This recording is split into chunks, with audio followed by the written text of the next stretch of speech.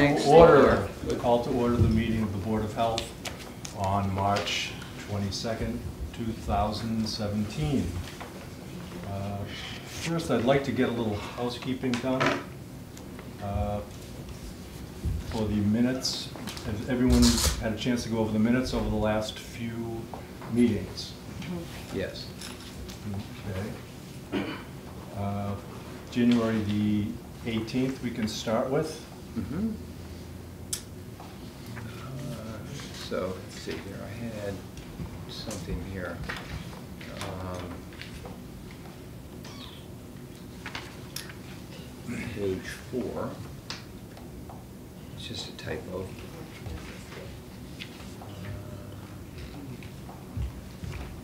Yeah, grab that from me. Um,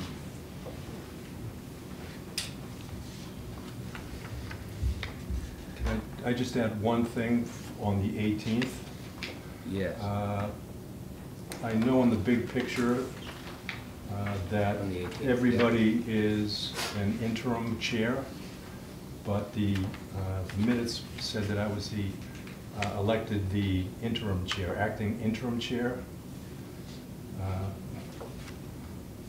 Like I said, I guess everyone's an interim chair, but uh, interim usually means uh, that something else is pending, somebody else is pending.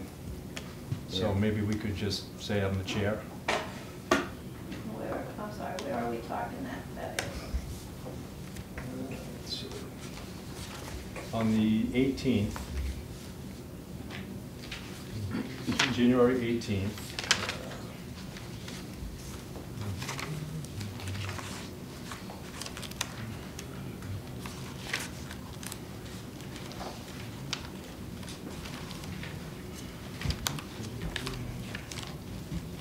oh wait, I know, see.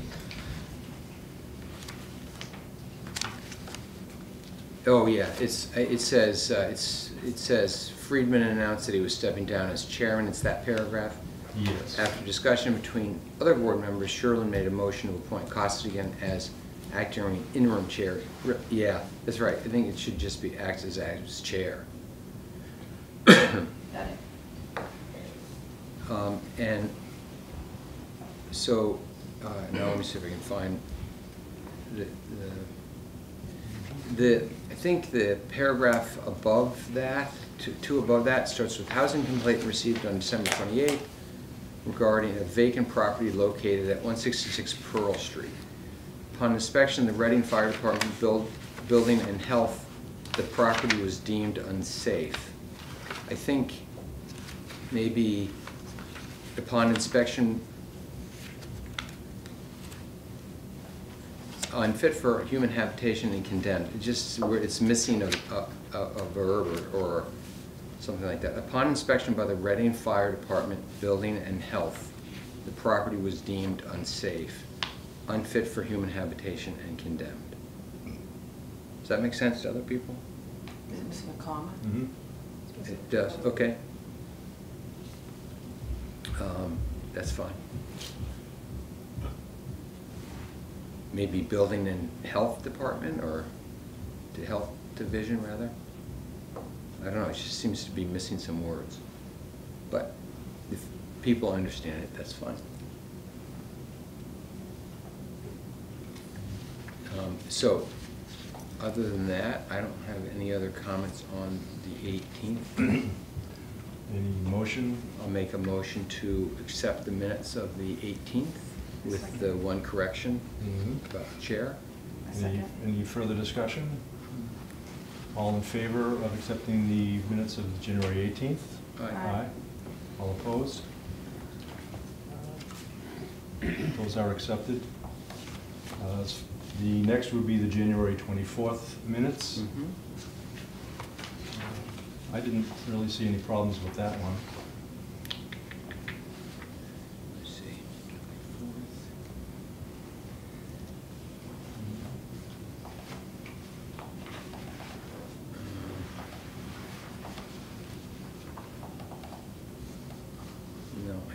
That's, That was Bob, that was Bob's yeah, approval. yeah, yeah, yeah.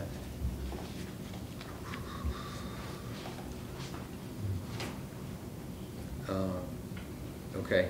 Any- No, Any motion to fine. accept? I'll make, um, just check one last thing. Sorry for the, um,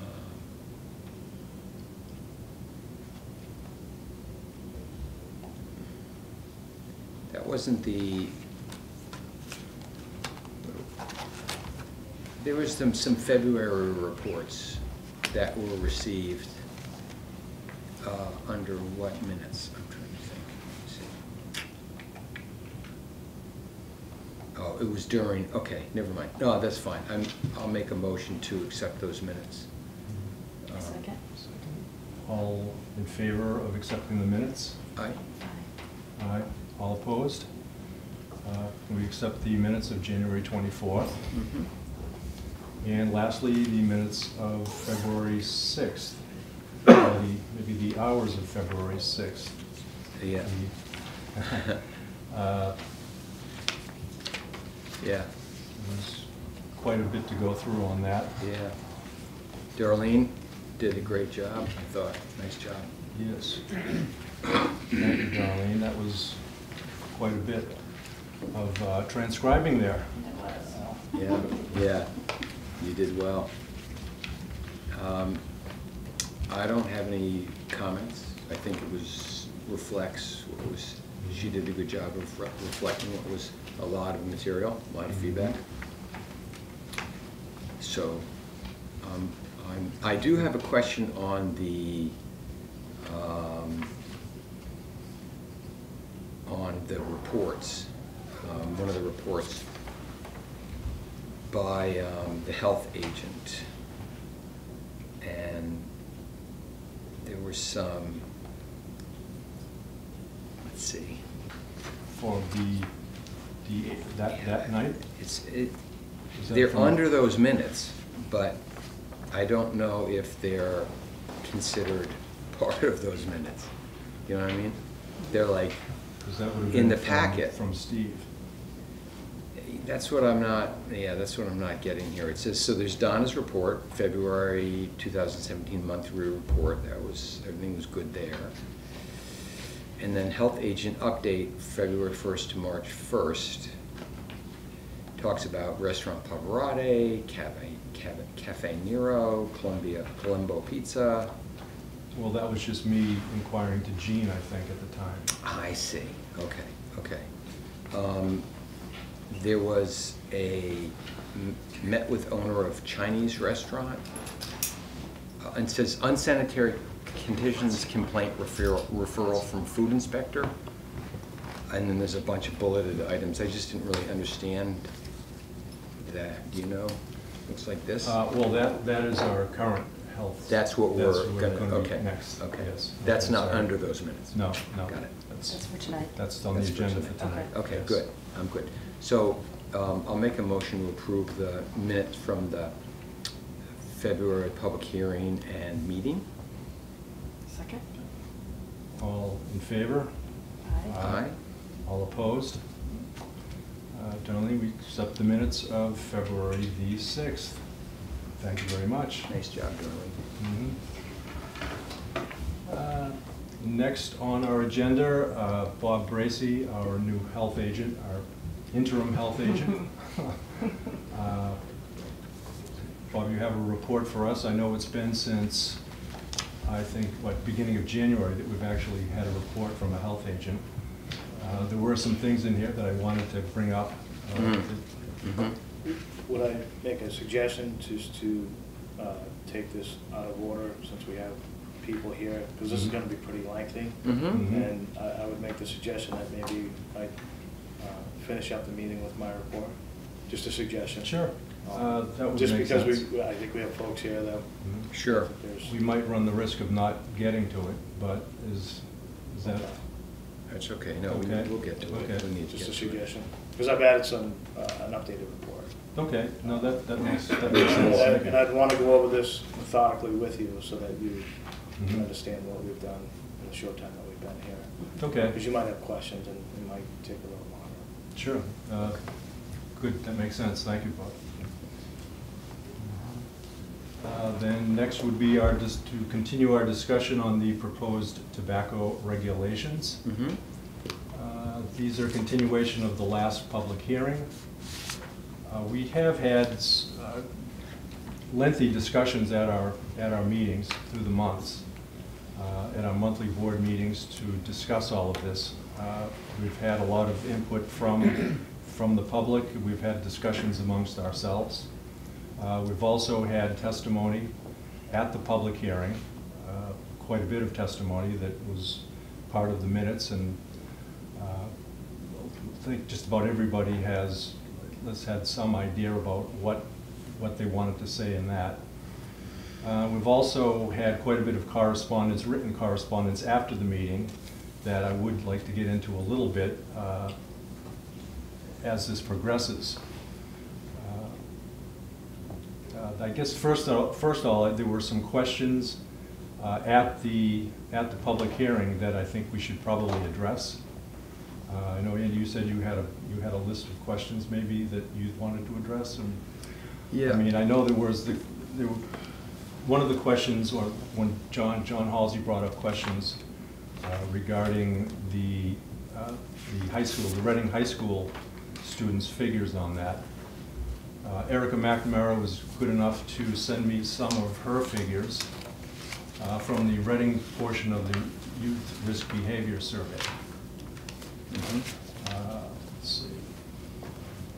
Uh, And in the, the high school survey, the 2015 Reading, Reading High School, Reading Memorial High School uh, Youth Risk Behavior Survey, uh, let's see, the figures as far as having ever used cigarettes among high school students uh, were 18% in Reading, Recent cigarette use, which would be the last 30 days of use, would be 10% uh, of high school students.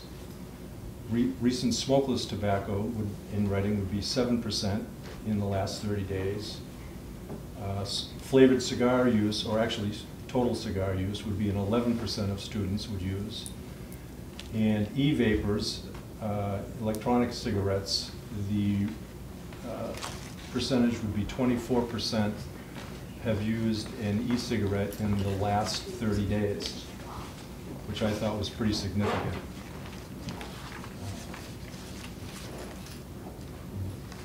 Uh, Those compare fairly well with the, with the nation as a whole the, on the Youth Risk Behavior Survey. Uh, Cigarette use among the country is 43%, uh, having ever used a cigarette in the country versus only 18 in Reading. Uh, However, the e-vapors, uh, we, we did not get a, uh, a a countrywide uh, estimate on that e-vapors, but Reading's came to, back to twenty-four percent. In the last month. Uh, having used in the last thirty days, having used an e-cigarette.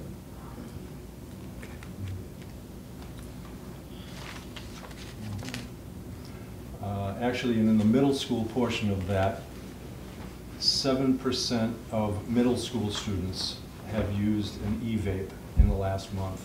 How many? Seven percent of, uh, of middle school students. Mm. Uh, And as far as cig- uh, cigarette use Mm. and uh, flavored cigar use in middle school, it was at three percent. Three percent of both Mhm. flavored, uh, flavored cigars and e-vapors, which I thought was pretty, pretty startling. Yeah. Yeah, uh, along those lines, I found this uh, outside the, um, uh, about a block and a half away, fr- on Summer Ave, uh, about a block and a half away from uh, the middle school, Parker Middle School. Cognac. On this, yeah, on the. uh, Cognac. on the sidewalk, where the kid, a lot of kids walk along Summer Ave, home from there. Did you find any beer bottles or any other type of stuff? Just, just that? It's the only thing you found? Uh, Just as a a note, uh, Wakefield, we did one of the, uh, at the last meeting, one of the participants did give us a uh, note of Wakefield's survey. It- I don't think it was a youth risk behavior survey, but it was just a survey of, of the Wakefield's ch- uh, children, uh, high school students. Uh, And one of the things that came out to me being very noteworthy was that if e-cigarettes and cigars were not flavored, sixty-five percent of the, of the students would not use them. And forty-four percent tried e-cigarettes because of the flavor, which again, I, I thought that was pretty noteworthy. Yeah. John, that was a survey of the high school students by the high school students, their youth group. their That was the Tobacco youth- Youth Action Group Okay, um, did that survey as their project. I see, thank you. Was that, uh? That was last year. That was from last year? And how reliable do you figure that is? I think when the kids ask the other kids, it's very reliable. Was there a reason you guys just singled out, just asking the, the students just at Reading High School, but not the other private school off of the Well, we street? collect the The data. youth risk behavior survey is a nationwide survey, and this Right. is just the Reading portion of it, Reading, So- Reading Memorial High School portion. So they took the Reading Memorial The? Reading, the Reading, Reading data out of it. They didn't, they didn't, add- oh, Reading data, so they all, obviously they included Austin Prep as well? No. No, it's Austin Reading. Prep would have to pay for it themselves. The Reading School Department doesn't pay to administer it to private schools. And Austin Prep kids aren't all from Reading. Okay. Is it a big cost for something like that? For kids doing their own survey amongst other kids? or- I'm sure they must have a This is, a- program. it's a federally funded. uh, The survey. YRBS, the full YRBS, which talks about a lot of different health issues, violence, Right. eating, all sorts of things. um, Costs about four to six thousand, depending on how many kids there are, and it would be something that Austin Prep would have to pay for. Did, have you guys inquired and see if they had a study done themselves, if they're willing to share that information? And not us. Uh, So that's uh, just in general, I'm sorry, has who, who done that have you study? con- considered Austin Prep students there, asking them for that, if they did a report, if they're willing to share that information? I, I did not contact Austin Prep about that. Is there a sense that high school kids are using smokeless and flavors to, to replace and avoid tobacco, or that they enjoy the flavors, or twenty-four percent usage seems pretty high? Uh, Well, they, they pretty much use it because of the flavors, I believe. Uh, As far as I'm aware, there's a very small amount of, that use without flavor. Use tobacco products that are not flavored. John, um, I just wanted to ask, the- the- what's the purpose of, of, uh, what do we, what do we, what's our goal here right now? I mean, we had a, we've been discussing this since July, last July. And um, we've had a couple rounds of the, the um, regulations come out at public, open public meetings. We had a public hearing in February. Are we having another public hearing now, or? No, I just wanted to give some data. I just wanted to give some data from the communications that I have received. Okay, so you're just, that's great, yeah, okay. Uh, the- Just as far, just as far as the, some of the other correspondence, I can just go over quickly. Mhm. Uh, The U.S. Surgeon General's report of influences on youth and exposure. The more exposure there is, there tends to be more smoking involved.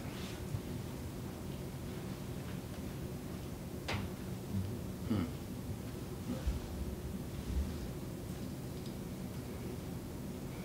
Anything else? Uh, Just the, the reports numbered from the Mass Association of Health Boards, the American Lung Association, the Northeast Tobacco Free Community Partnership, Mhm. and Tobacco Free Massachusetts. Mhm. Uh, I thought, I thought the, the comments were rich and deep. There were a lot of varied comments. Um, I was um,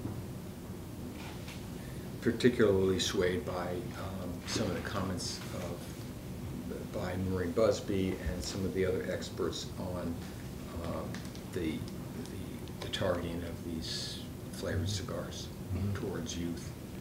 Um, And I understand that uh, one business was, one retailer was unhappy with the regulations. Um, But that, at the end of the day, the, the, the public comments,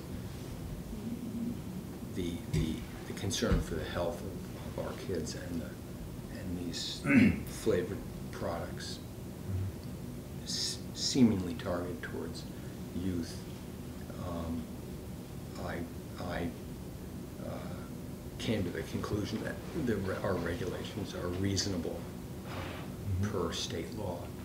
uh, And in, in, um, consistent with our,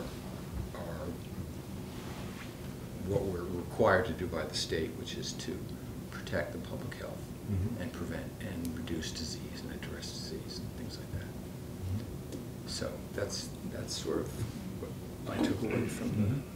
Uh, Yes, absolutely. Uh, There was one other question regarding the, uh, John Halsey brought up a question regarding the violations, running retailer violations. Mhm. Uh, And there were, Maureen uh, supplied me with the, the violation Oh, list here they are. from, yep, thanks. Oh, yeah, same. Uh, yeah. Uh, And over the past year, 2016, 2016, there were four violations uh, out of the 18, 18 permit holders, there were four violations. And I had asked uh, Maureen as far as, they- all seem to be in a, like, fairly concentrated time frame. So my first question was, well, how, uh, how many times a year do we do this? How many times a year do we, do we run these compliance checks? I mean, if, if, if there were four uh, violations and they were done monthly, uh, that wouldn't be, seem to be too much of a, of a problem. But if they're done once a year, and th- that once a year, there were four com- compliance failures, then that would be significant to me. Mm. Uh, And not, to- I don't, not to single anybody out as far as that, but, there- but four, com- four non-compliances uh, in the one time, I'm just wondering how often would that, over the course of a year, uh, as kids would go into it, what, what would that mean? Into, into a location to buy, what would that mean? How many compliance checks were there in, in, uh, a year? Uh, Was there one or two on that? Um, So there were two. Mm. One was called the sign art check, which is just cigarettes. And then the second one was what we call OTPs, other tobacco products. So it was either little cigars or chewing tobacco or e-cigarettes, depending on the, on the store. So now you got, you got four, um, uh, compliance out of two stings, which is, what's that, eighteen times two is thirty-six? I, I don't know what the figures are, but we're up there right with the, with the liquor stores. I mean, you know, we make a mistake, we pay, we pay the price. We don't intentionally do that. We don't No, sell to that- children, believe me. Uh, uh, I- I'm sure you don't. I- I'm sure all of the retailers don't.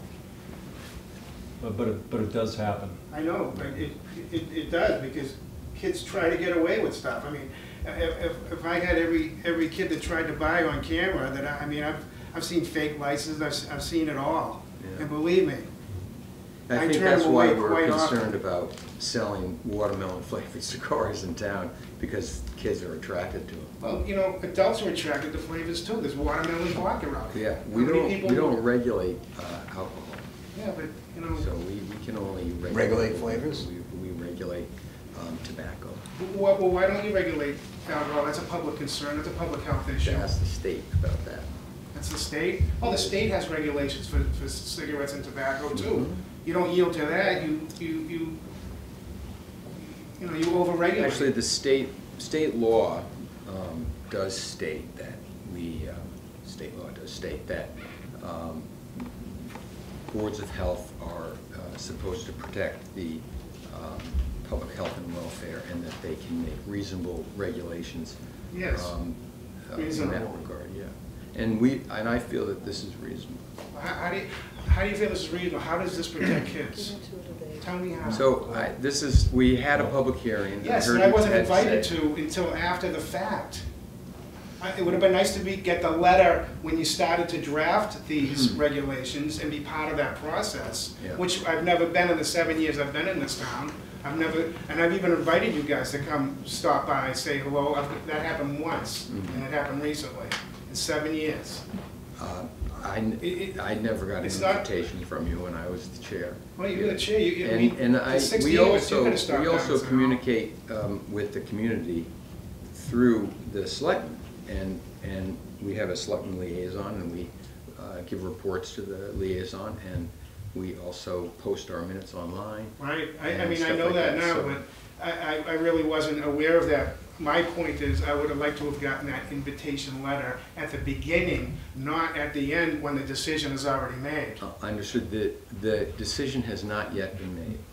Well, We are- your decision's we're been trying made because it's been in the paper, our CASA to the, uh, letter to the editor, it's in your piece today in the paper. So, uh, we know where you stand, and I, and I, and I think you're kind of poisoning the, uh, the discussion. Now, Can we vote? And I, yeah, I did, I did have That's some to questions. do. At the, at the hearing, I did mention that I would, I would like to have answers from, questions from, from the audience at the time. Uh, If it could clarify our decision. Uh, I don't know, is there a- a Dennis Lane in the? Right here. Dennis, okay. Thank you, thank you for coming. You're welcome, thank you for Uh, having me. I did notice, uh, one of the questions you had uh, that were brought up was as far as laws regarding possession and use of tobacco. Yeah, I mean, the thing that, um, the thing, I've been a retailer for forty-three years, and I work for a coalition of responsible retailers. And our goal is certainly to make sure that retailers do not sell to minors. It's, the kids who were catching the school bus in front of my store in the seventies are coming in with their kids now. And my worst nightmare is looking at a mom or dad and saying, I sold your kid Marlboros, I sold your kid a cigar. That's my worst nightmare. So we don't want to sell the kids, we don't intend to sell the kids, it's not good business. People don't buy, don't buy milk bread in the Boston Globe in stores that sell to kids. But, and the reason I, and thank you for bringing up the, the possession, the use and possession. If there's a fourteen-year-old sitting on the steps of Reading Town Hall today, a police officer can't do anything about it. A kid can't purchase them, but he can sit on the steps of City Hall and he can smoke them, and no one other than his parents can take them away from him. Well, that would be a legislative law then that would have to be made. Well, I- wait, wait, let me just insert, you made that point at the last Board of Selectmen I meeting, did. and I wasn't there. And I think Chief Segala responded, and what did, what was his response? It's, it's difficult, it's, you know, basically, I think, and, and, and the I few think cities. Chief Well- Segala's response was that if an officer saw a kid smoking a cigarette or anything other tobacco product on, on downtown, the officer would take the cigarette from the kid, That call the wasn't me while I was parents, the and That, that would be, that, and- that would and be a would- law for the right. legislature to But decide then, and but vote just to on. finish that conversation, the officer but- wouldn't have the right to do that. he, That- that's what Chief Segala No, said. but. They still wouldn't but- have the legal right to do it. But because there's may, because there's no law against it, but if, if it is a legislative thing to, to create a law, have you brought this up to the legislators? It's Like our state, our state rep and our state senator, have you brought this up to them? We to brought it consider? up on Capitol Hill, we've worked on Capitol Hill, and, the- and what Capitol Hill does is, they do kind of saw what you guys are doing, I'm not being disrespectful, they throw it back and they say, this is a cities and towns issue. Well, This I- is a, you know- I, I contacted, I contacted Brad Jones. I contacted Jason Lewis, and they had no record, they had no idea of, uh, no one proposing any type of law. We haven't formally for- proposed it, but we've been to many, many hearings on Capitol but that- Hill. but We is- have the that is- same conversation we're having with you. But It- that it is just the way makes- that, that is the way that you would have to go through it, though. You But why can't, can't we work together to get that done? Revere has one, and so doesn't Lynn. So towns have, do have the- these laws. uh, well, the Board of Health can't create laws. Why can't we work together? You're creating a law today. Uh, if you vote on it and vote no, that's a law. Where it's The- a the proposal, the Board of Health proposal was to create possession laws. That, that, I'm just, I'm just asking a question about what have you done about trying to get a law made? So why can't we have a possession regulation? Andrew? I, I, I can't, I can't criminalize anything. Yeah. Going around in circles. That's it. Well, you, I mean, if you can write me a ticket, you can write a minor a ticket. Am I wrong? Well, We're not gonna No, write I minors don't. tickets, I- and I don't think we can. I, I, have you contacted our police chief about what that would mean for their force? Well, we, we, I, I was at the Board of Selectmen's meeting, I would think that would go through the Board of Selectmen. And this is the Board of But the- Health, so can we stick to Board of Health Yeah, issues we at this should. point? This is, That we're able, I mean, many Board of Health, many boards of health in towns in Massachusetts have passed similar regulations like this. We're sort of in the middle of the pack, I think. Okay. There's been a bunch that haven't, mm-hmm. that have yeah, not passed it, voted against it, which is what I'd like you people to do, or at least continue the dialogue. no, there's no more Yeah, dialogue. yeah, Is, all right, Dan, just, I, as, as far as you're concerned, your business, Right. uh, as, as many of you may know, that I was, in I was a pharmacy manager in Reading, uh, in the Reading, uh, right down the street here. And in 2012, I believe, the Board of Health uh, created a regulation that uh, pharmacies could no longer sell tobacco products, uh, which I, at the time, I actually agreed with. I thought that that was a good idea. Uh, But our, the store did close in 2014. Uh, Now, I'm not saying that it was because of the, that tobacco regulation, but I do have some empathy for the business people in town uh, that, that this might affect. Uh, Just if I may ask, how, your inventory levels, how far out, I know as far as being in retail, you try not to keep a lot of inventory. I mean, try to run as lean as I can, yes, however, I, I mean, it'll, it'll be an impact on my business, big time. You know, we're looking for economic growth in Reading. Not this way. Hmm? Yeah, No this is tobacco. not- not No, great. Not not if this way, not if the- I- but kids don't get them from me, over Yes, they- twenty-one people. Yes, they do, they do, and we have the reports to show they do, and that's just four times in one year that we Not know from about. me. Yeah, there Not in the, not, not on that report, two thousand sixteen, I passed that. And yes, I have made mistakes, I don't do it, I don't do it on purpose, everybody right, but it happens, and, and kids in this town are getting these things. I have two kids in the school system. The I kids are raised two kids. I'm raising two, three kids, and they're all getting the vapes. They're vaping in the library, they're vaping in the school. They're getting them online. No, they're not getting them They're online. not getting them from my store. You don't I'm know where they're you. getting them, but they're getting them locally. These kids don't drive. They can't drive to other towns. Do they do a survey to ask where they get them from? Well, they're getting You them can- you can buy- somewhere. you can buy 'em Doesn't right matter online, where- they ship 'em you to your can't It house. does get 'em matter, because regulating, I- I'm not. They're the local. They can't. problem. These kids can't drive. I, they, so they, they're but they getting can them do locally. e-commerce, e-commerce is where it's happening. You should be focusing on the heroin problem in this town, okay? That's where the focus should be. Okay, so let's forget tobacco and we'll just go right to opium. Okay. Yeah, that's a bigger Let's, Can we- can let's, we move- move let's on? take care of the tobacco and then move to Yes. other, To other heroin. health problems that we mm-hmm. have. Uh, The, the point what is, we're the supposed kid, this, I'm this sorry. is over-regulation, the kids are not getting them from my store, they're getting them elsewhere, I promise you Okay, that. well, we're regulating those guys too, But so. I- I'd, I'd like to uh, also not worry too much about the how of, get- how they get them, but more of the why do they get them. I, I I mean, I understand, understand you, all of the retailers are doing everything they can to prevent, to prevent them from getting their tobacco products. Uh, The how, you, we all know, social contacts, whatever. but to, but to the- say the that why- this the regulation why- is gonna make an impact is very short-sighted, I tell Well, you that, that. that's where my why comes in. I mean, what- I think the number was three quarters of high school students of twelve to seventeen-year-olds will go to a convenience store over the course of a week. All right, that's, kid, kids go to these convenience stores. Uh, The, the tobacco lobby has got millions in marketing and advertising. Uh, And the, the two together just, when they, when the kids go in, they, they see the marketing. And, There's no marketing in, in, in, in store, convenience stores for, for that stuff. Well, If you're in, Is that true, Marie?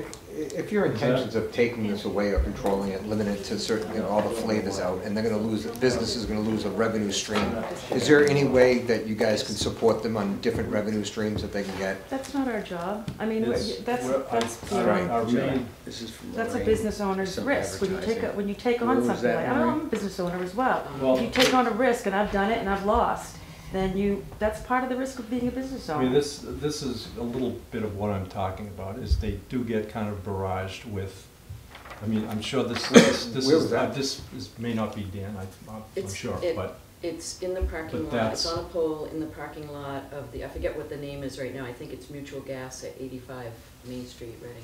It's in How is that marketed to kids? Adults drive Well, by that smokes flavored cigars and they see it. Is they there a signage law on that?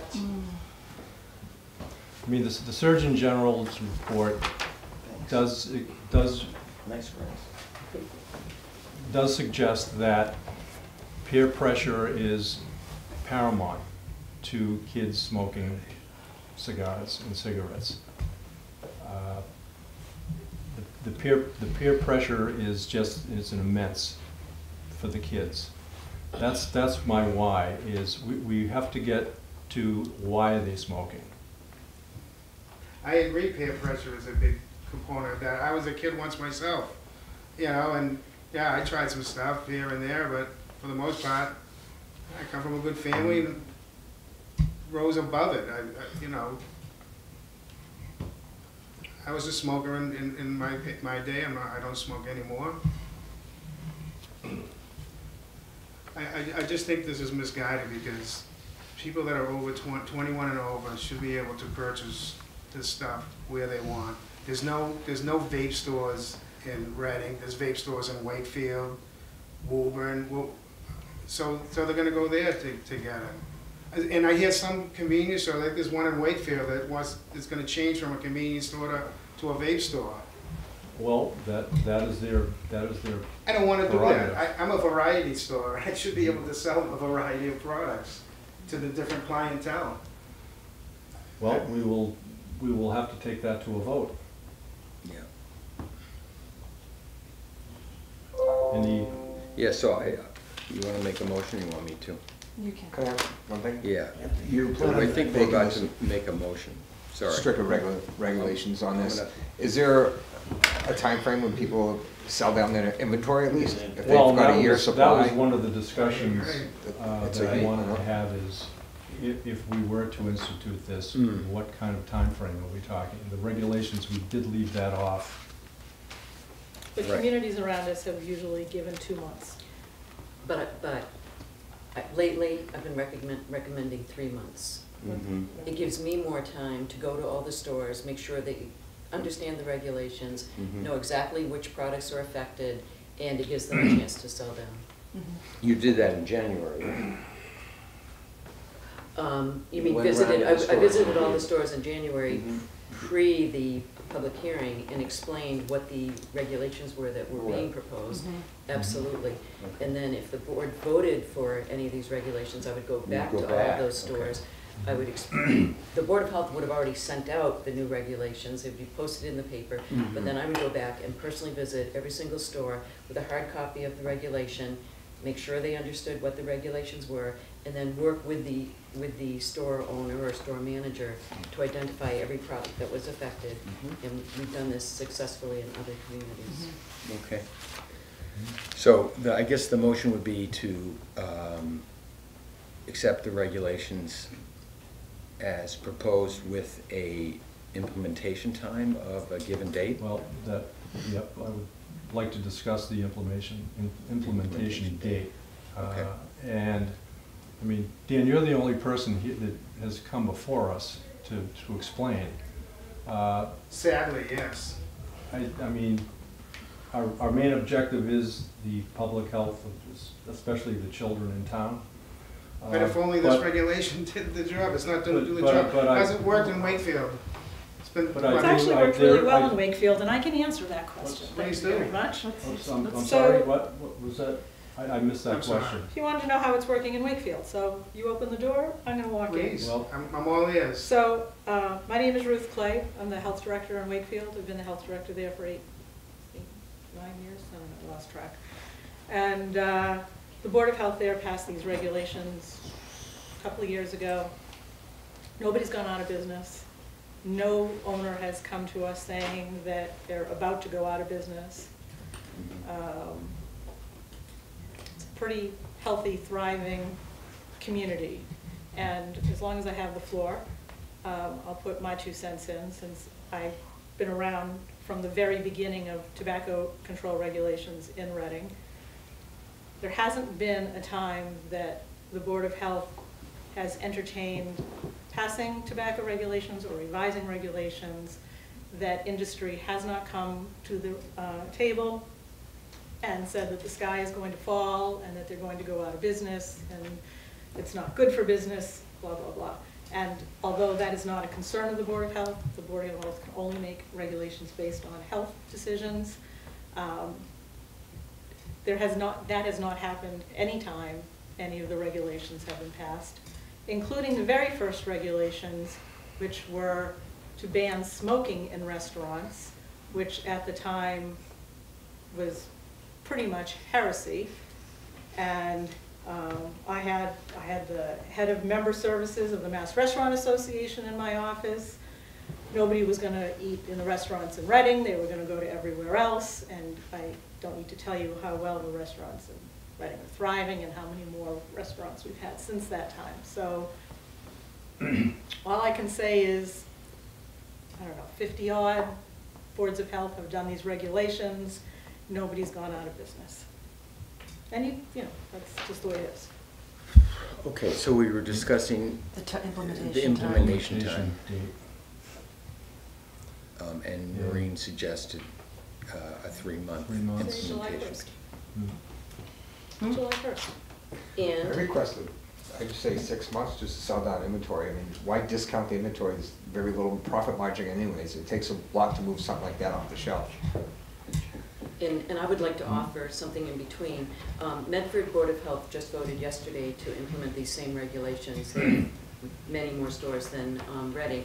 And just um, in the interest of my workload, because I do feel it's important to make visits, and I make three monthly visits, I go three times, three months in a row before, um, not necessarily before the effective date, but before anybody would be penalized in any way. And um, Medford has selected, um, they didn't want to do, do July fir- first because of the holiday weekend. Mhm. Um, so they did July, I think it's July tenth, whatever that Monday is in July, I think it's July tenth. So that's their effective date. Um, if the board would consider, I would, I would suggest August first.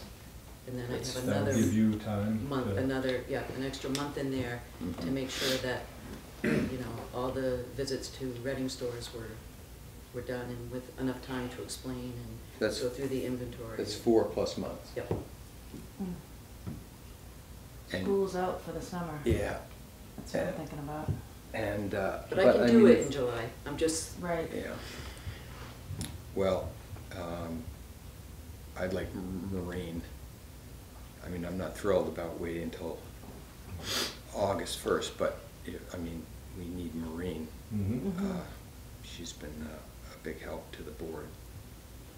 So I, I would, Mhm. I would, uh, I would make a motion to accept the regulations uh, in the public health draft um, with that one citation correction that I, that I, that was noted in the draft, uh, Mhm. um, to be, to start on August first, two thousand seventeen. Okay. Any second? Second. And any discussion, any further discussion on the matter? Uh, The motion to accept the regulations on August the first. All in favor? Aye. Aye. Aye. All opposed? Okay, regulations are passed as of August first. Can I just ask a fast question? The regular, this is my first meeting, by the way, ever to any town uh, thing. Any way I can get a copy of those regulations in writing? There, Sure, They're on the website. They are right up on the web. Can you get on the web or? Oh, yeah, I I mean, the can, help- sure I could. I just, could- we Well, what's could on there is a issue written draft, one. right? You're gonna have a final, uh... It's the proposed You draft. know, I'd like to see that. Because I'd that. like to see that, um... Sure. uh, The number of permits addressed too. I still don't think that was cleared up at the last meeting. Um, Yeah. uh, Do you want to explain the permits, or? Was that the nine, the nineteen permits? Yeah, eighteen plus Currently, one. there's eighteen, there's nineteen. It's- I think it's, yeah. There's I took from the one- last meeting that there'll always be nineteen. N- No, when, when the, when, es- when an establishment closes, uh, the permit is retired. So it would be reduced, Unless, it would be There's- reduced by one. There's sixty days Unless, to, yeah. un- unless it's sold to a, uh, a proprietor that will be taking over the tobacco permit business, as the business. Oh, I can't get online. So a retailer who changes hands is protected Correct. Yes. if they meet whatever. If they meet hands. within sixty days of Yes. getting the permit. even if they're within that zone of the school, we grandfather that in, because there's one store that sells tobacco that's within the Right. thousand feet. Within a thousand feet, they can continue to So if sell. someone wanted to retire and move on and sell their store, they'd be able to pass on the tobacco permit. Yes. Correct. Right. I'm sure there'll be terms and conditions. As long as they, as long as they do within sixty days. The Yeah. new owner applies within sixty days. Thank you. The other item that uh, I, I was curious about was, uh, Andrew mentioned at the Board of Health meeting, you were grandfathering somebody because of, it's their retirement. So, yeah, Well, I'll repeat what I said at the Board of Selectmen meeting, uh, John, if you don't mind.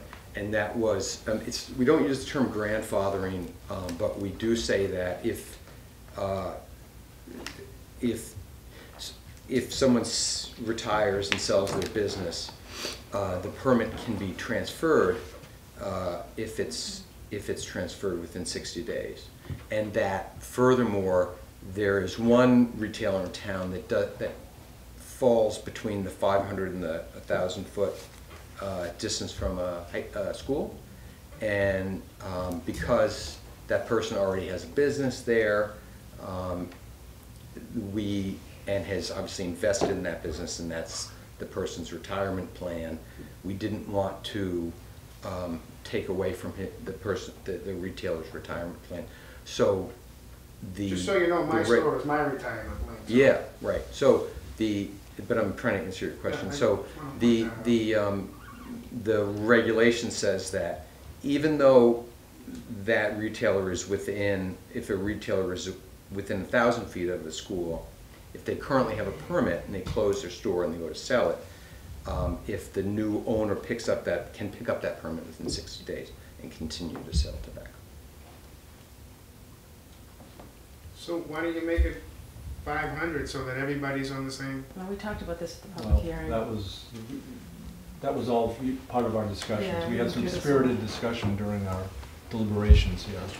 And that was one of the ones that we decided that- to do. And I- that was asked at the Board of Selectmen meeting too, John, and I, I Okay. noted that we did that to be consistent with the medical marijuana law, or, or town bylaw. Okay. Do they plan on doing some more spot checks from now till August first, since everyone will be probably reducing their prices on the e-liquid juices and all that stuff? You know, it probably might be a heightened thing, because kids will be talking about, there's a sale going on.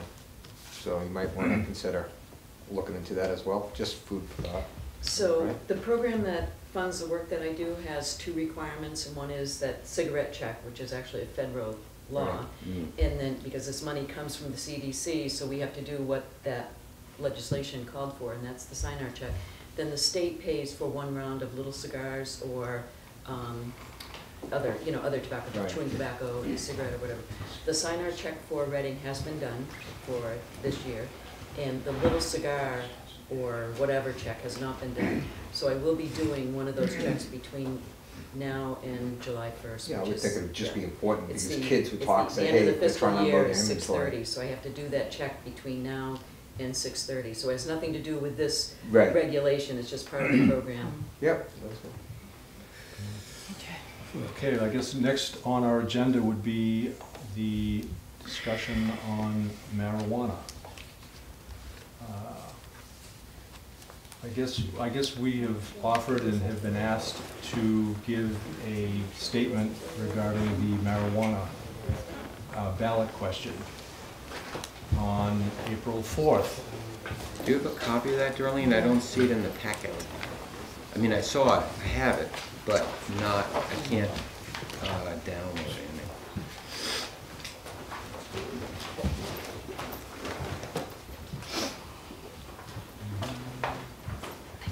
Thanks, Maureen.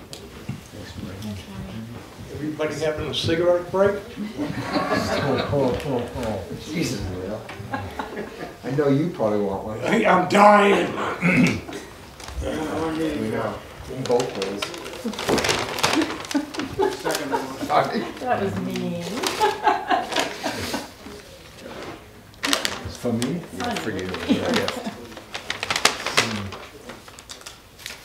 Uh, Yeah, I'm My- sorry, I thought it was in the my- packet. The the little article I wrote uh, was basically uh, based similar, on the similar premise that we have to protect our children.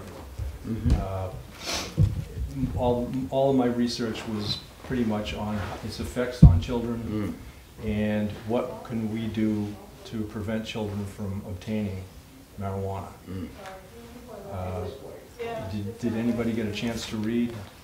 I Read it? did, I did. Okay. Yeah, I did too. I think, I, I looked at it mainly, you know, with the same eye that we write our articles Mhm. on, and um, I think that we, we need to include, add some citations. for I, I, I did put those on. I- You did? I do Oh, have okay. citations, I'm sorry, I didn't put them on. Uh, uh, I can just, uh, down the bottom is yeah. where my, my list of, uh, Okay. So, um, usually these are, we write articles on health issues that address the town. I'm not, I, I- do boards of health, this is a question I don't know, weigh in on town ballot questions? well, I, Did you find anything I- about that I about? mean, we didn't do The- it with the national vote on that. Right. We, we talked about it. I don't, uh, you were on the board that time. yeah. We talked the- about doing that, but we didn't, I think RCASA had asked us to, we didn't weigh in on telling people.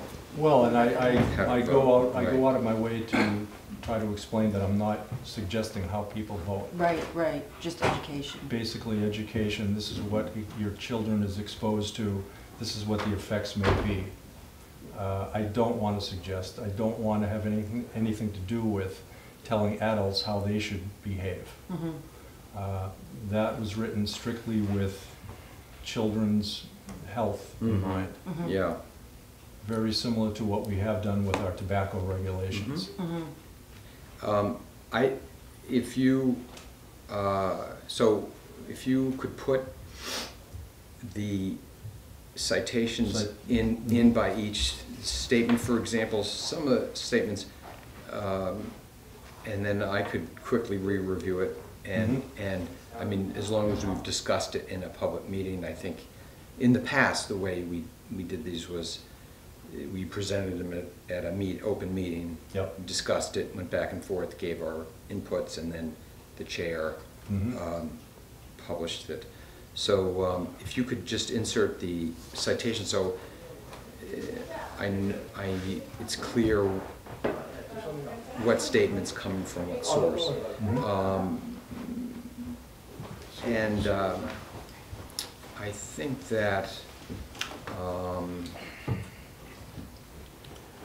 and then I could, then I can comment in more detail, and provide you comment, and you can, and then if you think we need to discuss it again at another meeting, we can, we can hold another meeting. Um, That's, that's, I'll leave that up to you.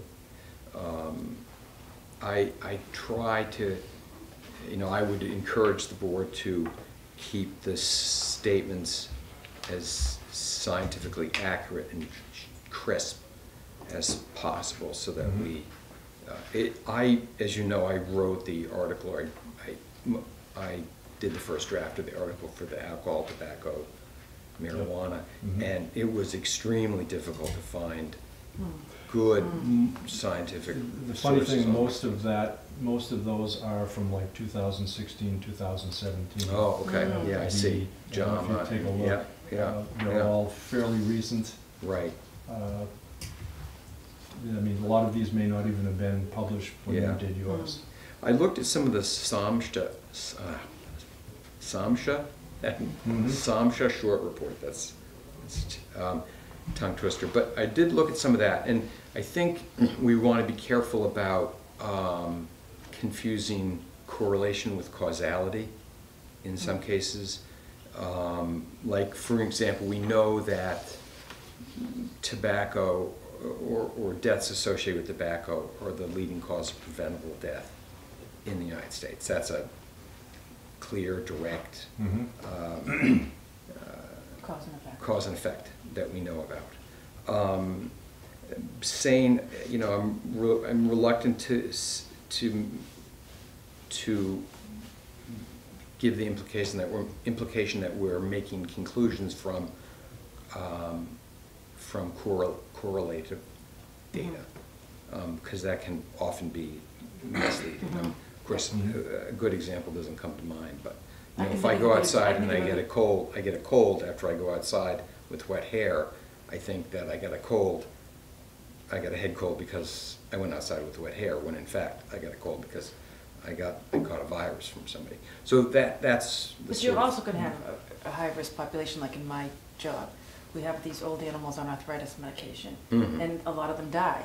They die because they're old, not because they're on arthritis medication. Yeah. So Mhm. that's like a false correlation. So I think with some of these things, you can, if you take a certain population and you add something to them, well, Yeah. that population's gonna have this happen, but it doesn't mean that thing. I- Can I ask a question? And I think the thing I'd want to stress on this, John, is the, you know, for at-use risk. I, I, I understand that the ballot question is for twenty-one and over, but similar to the, the flavored, uh, you know, the, the watermelon flavored cigars,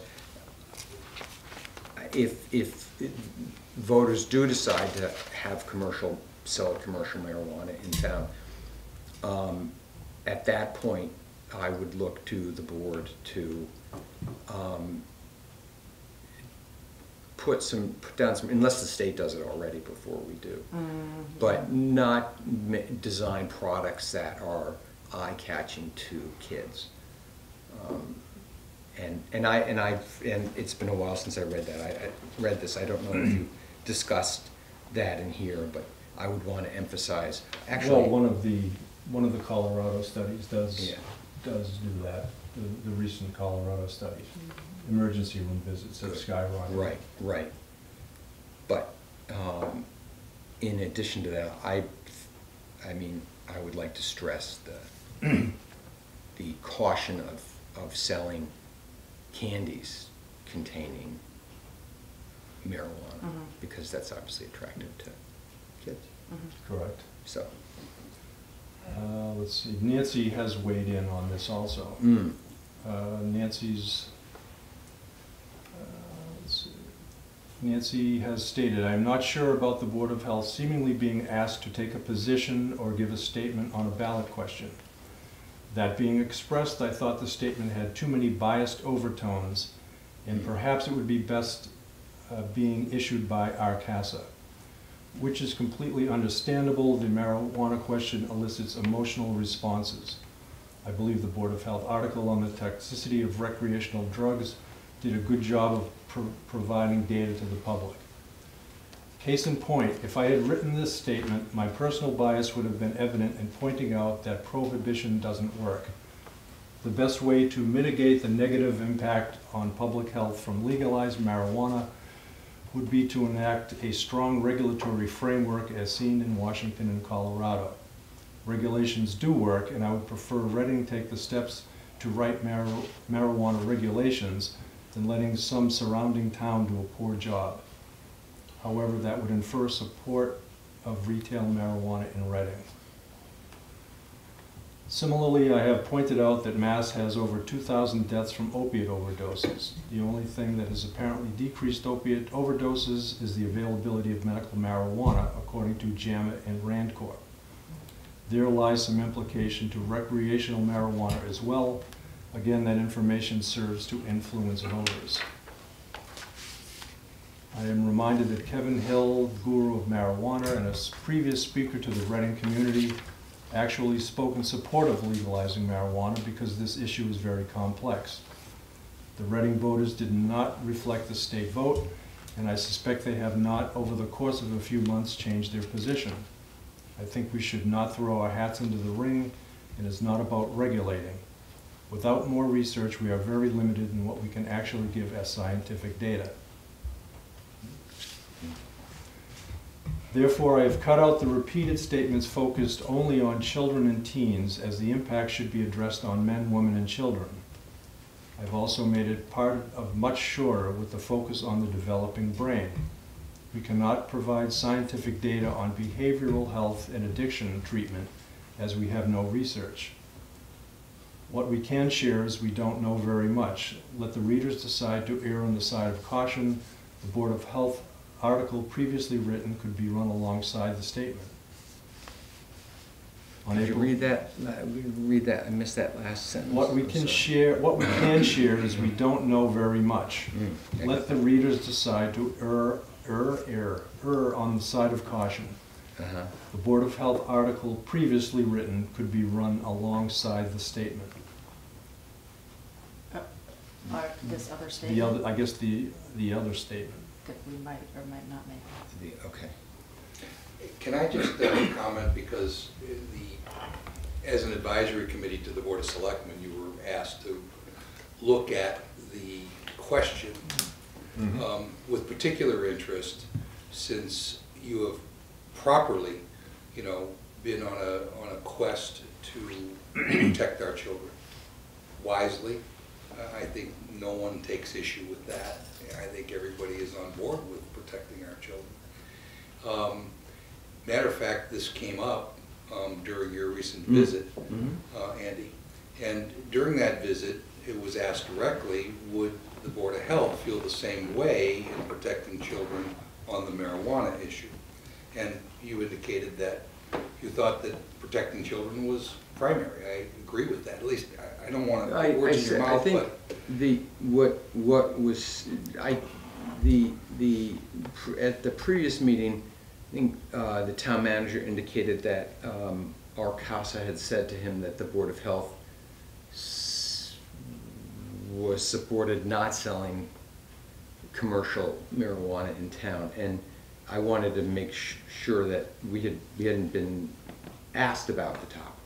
Well, and so Um, you have since, three weeks ago, been asked Right. directly about the topic of, um, of commercial distribution Mhm. inside the city limits of, or the town limits of Reading. Yeah. Um, Commercial.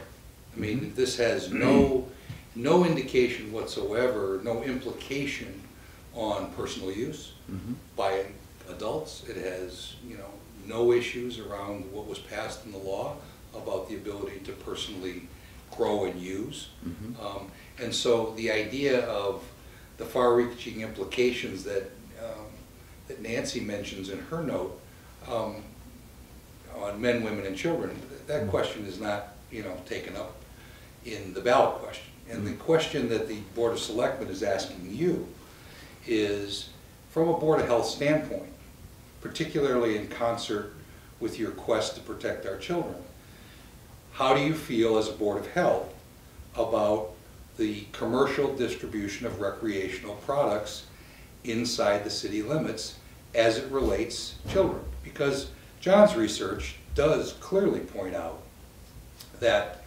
in states where this is going on, the spike of children in emergency rooms is kind of off the charts. Fivefold. some- Fivefold.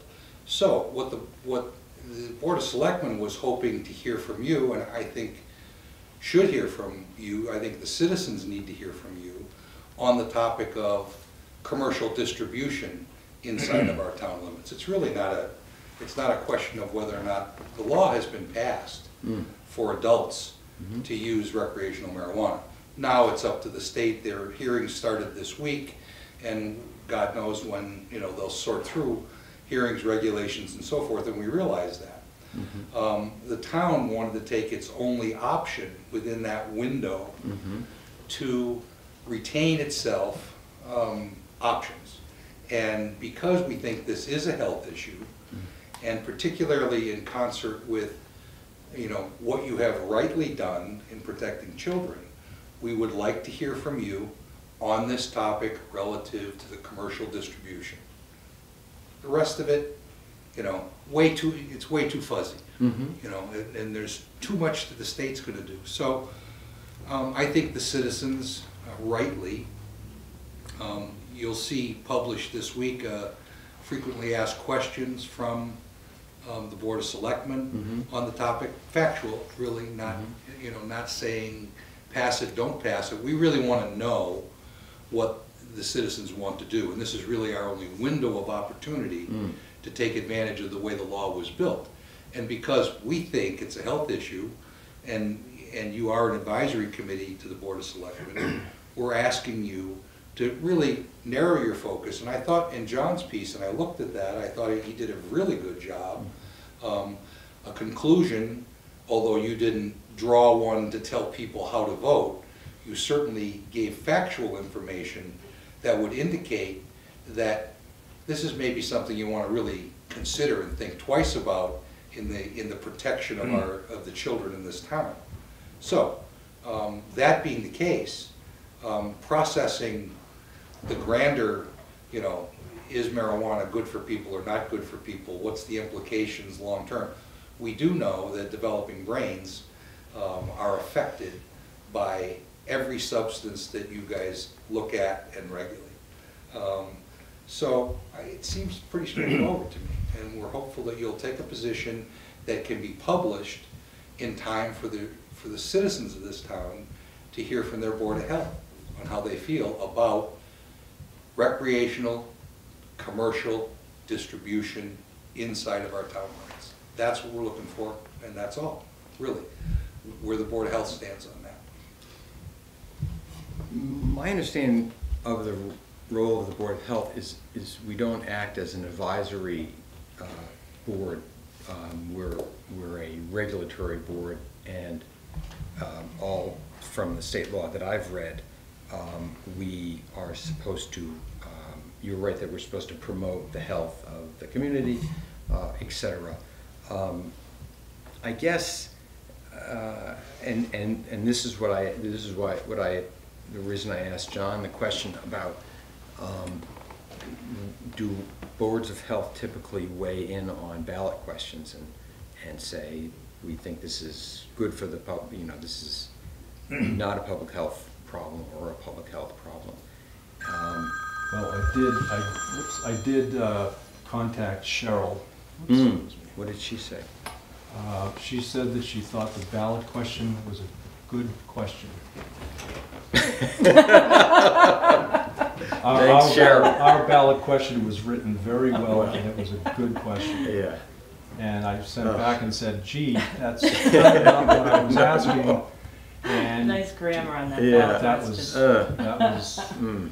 that was her response, and I mean, here's the thing. Thi- This is what this is what makes me feel a little uncomfortable. If if tomorrow they put in a ballot to make Reading a dry town as far as alcohol is concerned, and they ask the board of health to weigh in on that, would we would we weigh in on that? And uh, You said Well, I- earlier, you so wouldn't anyway, so it's so we right we don't we don't regulate those things, which is why I'm reluctant to. Uh, weigh in on, I mean, it's such a complicated. wouldn't Would you agree regulate this that. is a we public health could, issue? we could, we, I I think there are a lot of public health issues in Correct. town, yeah. And so, and just to be clear. Whether or not passing, allowing the sale of marijuana in Reading, um, what that effect would have on the public health. Can I ask a question as a think. resident? As a candidate for selectman, where do you stand on the issue? I'm That's what I'd like to here as know. a member of the That's- Board this of is, Health. the- this is the Yeah, Board of Health meeting, that's, this is the Board of Health. So, let- if we could come back to, you know, on the, on the question of advisory um, boards Yeah, and commissions. yeah. um, Every member of this um, Board of Health Mm. is appointed by the Board of Selectmen. And by definition, in the charter, this is a advisory, so we're clear, this is an advisory committee. Now, it, like Conservation, um, the Historic Commission, uh, CPDC, those are, and, and the Board of Health, Mm. have extra powers that come, that are inured from the state regulation. Right. No question about that.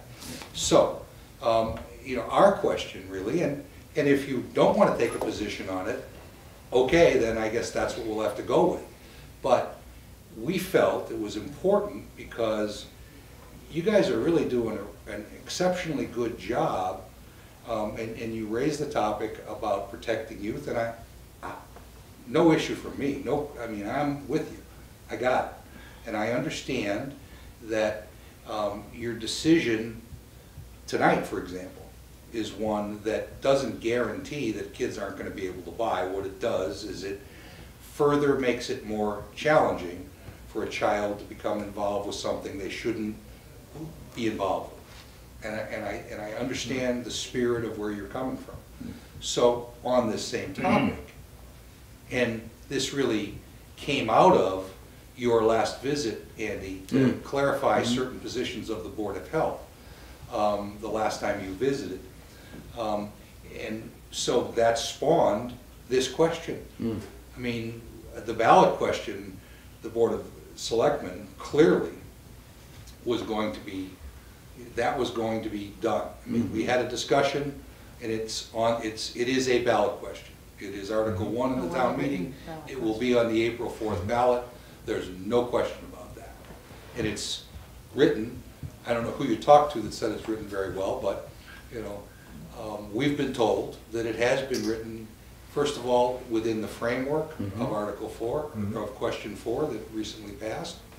Um, We have been told definitively that whatever the voters choose to, you know, to support, or to support it, which would prohibit um, recreational um, commerce, um, uh, commercial properties, or if they choose not to. We've already heard from the Attorney General that based on the writing of our, of our document, that they are happy to enforce whatever our voters decide, because question four clearly calls for a vote of the voters Mhm. in order to be able to come to a conclusion about the prohibition of commercial distribution of recreational marijuana inside of our town. Yeah, okay. Really So- based, Andy, on your visit, Yeah, um, you said, we haven't been asked, so we asked you. Gotcha. And we're asking you, and we're hopeful that you will take a position on that particular ballot question as it relates your work on the Board of Health. Thank you. Um, So, I, I would like to uh, take, I mean, Nancy uh, is much more expert, I mean, I- her job is, I believe, along, you know, she works in this area. Mhm. So, um, I'd like to take a look at her comments in more detail. Look Sure. at your article in, in, in- along with the um, The citations. citations. Because I didn't see the citations on And then we can, and then we can get back to the, Yeah. um, the selectmen with Sure, the answer. and- But we may have to meet again next week or something Uh, to discuss, Okay, because we can't, um, Right, off. we the can't table. deliberate exactly. out of Uh, open meeting. Although I could send, I could send all of that to Jean, like, Yeah, soon. right. Uh, what's today? I Wednesday. could probably get that off to Jean Right. tomorrow. But we would have to then vote on it Yep. to, to, and we can't do that outside of Correct. public meeting. But I, Darlene, how soon could we get a meeting next week? Uh, we only need like forty-eight hours. to Forty-eight hours post. get you, uh, get you posted. Okay. I'm out of town Thursday and Friday. all right. Uh, I think Keep I'm- in mind that, you know, a week from Tuesday is when this is gonna be before the Right. voters. Right. Right. So And- your, your input is really important in a timely way. Um, I'm, I'm guessing, um, John, you've clearly done some research, it sounds like Nancy has. Nancy, of course, as an associate member, won't be voting on any position you take, but clearly she's available for input and is certainly Mhm. part of your team, I understand that. She has sent, uh, sent written information. Um, I guess I'm asking the other two members, do you have an opinion at this time that you'd like to discuss in open meeting? I do not, I need more No, information. I need, I need to review what Nancy sent in. I'd like to review the, this article with the citations inserted in the proper places. So just let me, back let me from- ask a follow-up to that then. Can we expect an opinion to come from this board in ample time to have it published both on the website and possibly in the newspaper so that the voters will have several days to reflect on your thoughts? So today's Wednesday. Mhm. We can all look at our calendars tonight and email it. And we can discuss a meeting date Yep, per, by, e- by Could- email. Could we uh, implore Bob to get the ombudsman to speed up the process once we do? If- Speed up the process of. He has to a review- He has to review everything. Oh, absolutely, that can be done, that can be done on an hour's notice. I can guarantee you, given that the timeliness of this topic, Mhm. this will not, this will move right along. I mean, Okay. that has been the point, that's the reason we sent this off to you three weeks ago. Okay, Mhm. that sounds good. Yeah, we just couldn't, we can't discuss things outside of open meeting. I'm very clear on the open meeting rules, believe me. Okay, so Let we me can. get that off to Jean, see if I can get that off tomorrow. Mhm. Uh, What is our schedules for next week? I don't have my calendar. What's the, what are the dates, the twenty? So while they're scheduling, Pat, I know that you're currently the president of our CASA, I just of wanted our to board, bottom real quick. of Yeah, board yeah. I serve on. What what are the Um, dates, Monday? Have you Tuesday, guys had a Wednesday? chance to Monday's take a the position that 27th, you'd like to publish as well? Monday's the twenty-seventh, 27th. twenty-eighth. Tuesday's the 28th. Um, I can do probably Monday. I I don't mean to put you on the Yeah. spot, but Here, it's but certainly I don't- and you yeah, I guys can do are it I'm occasionally. out less Wednesday. constrained by Say what? public meeting I'm- I'm gone rules. I mean, Thursday. Yeah, I think those, I'm, I mean, we can, so Monday, that board can interact.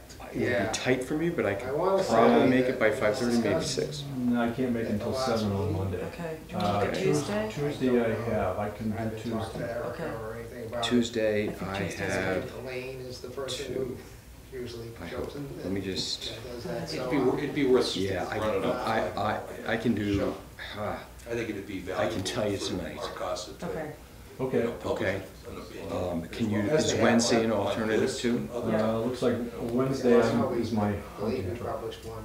so let's do Wednesday.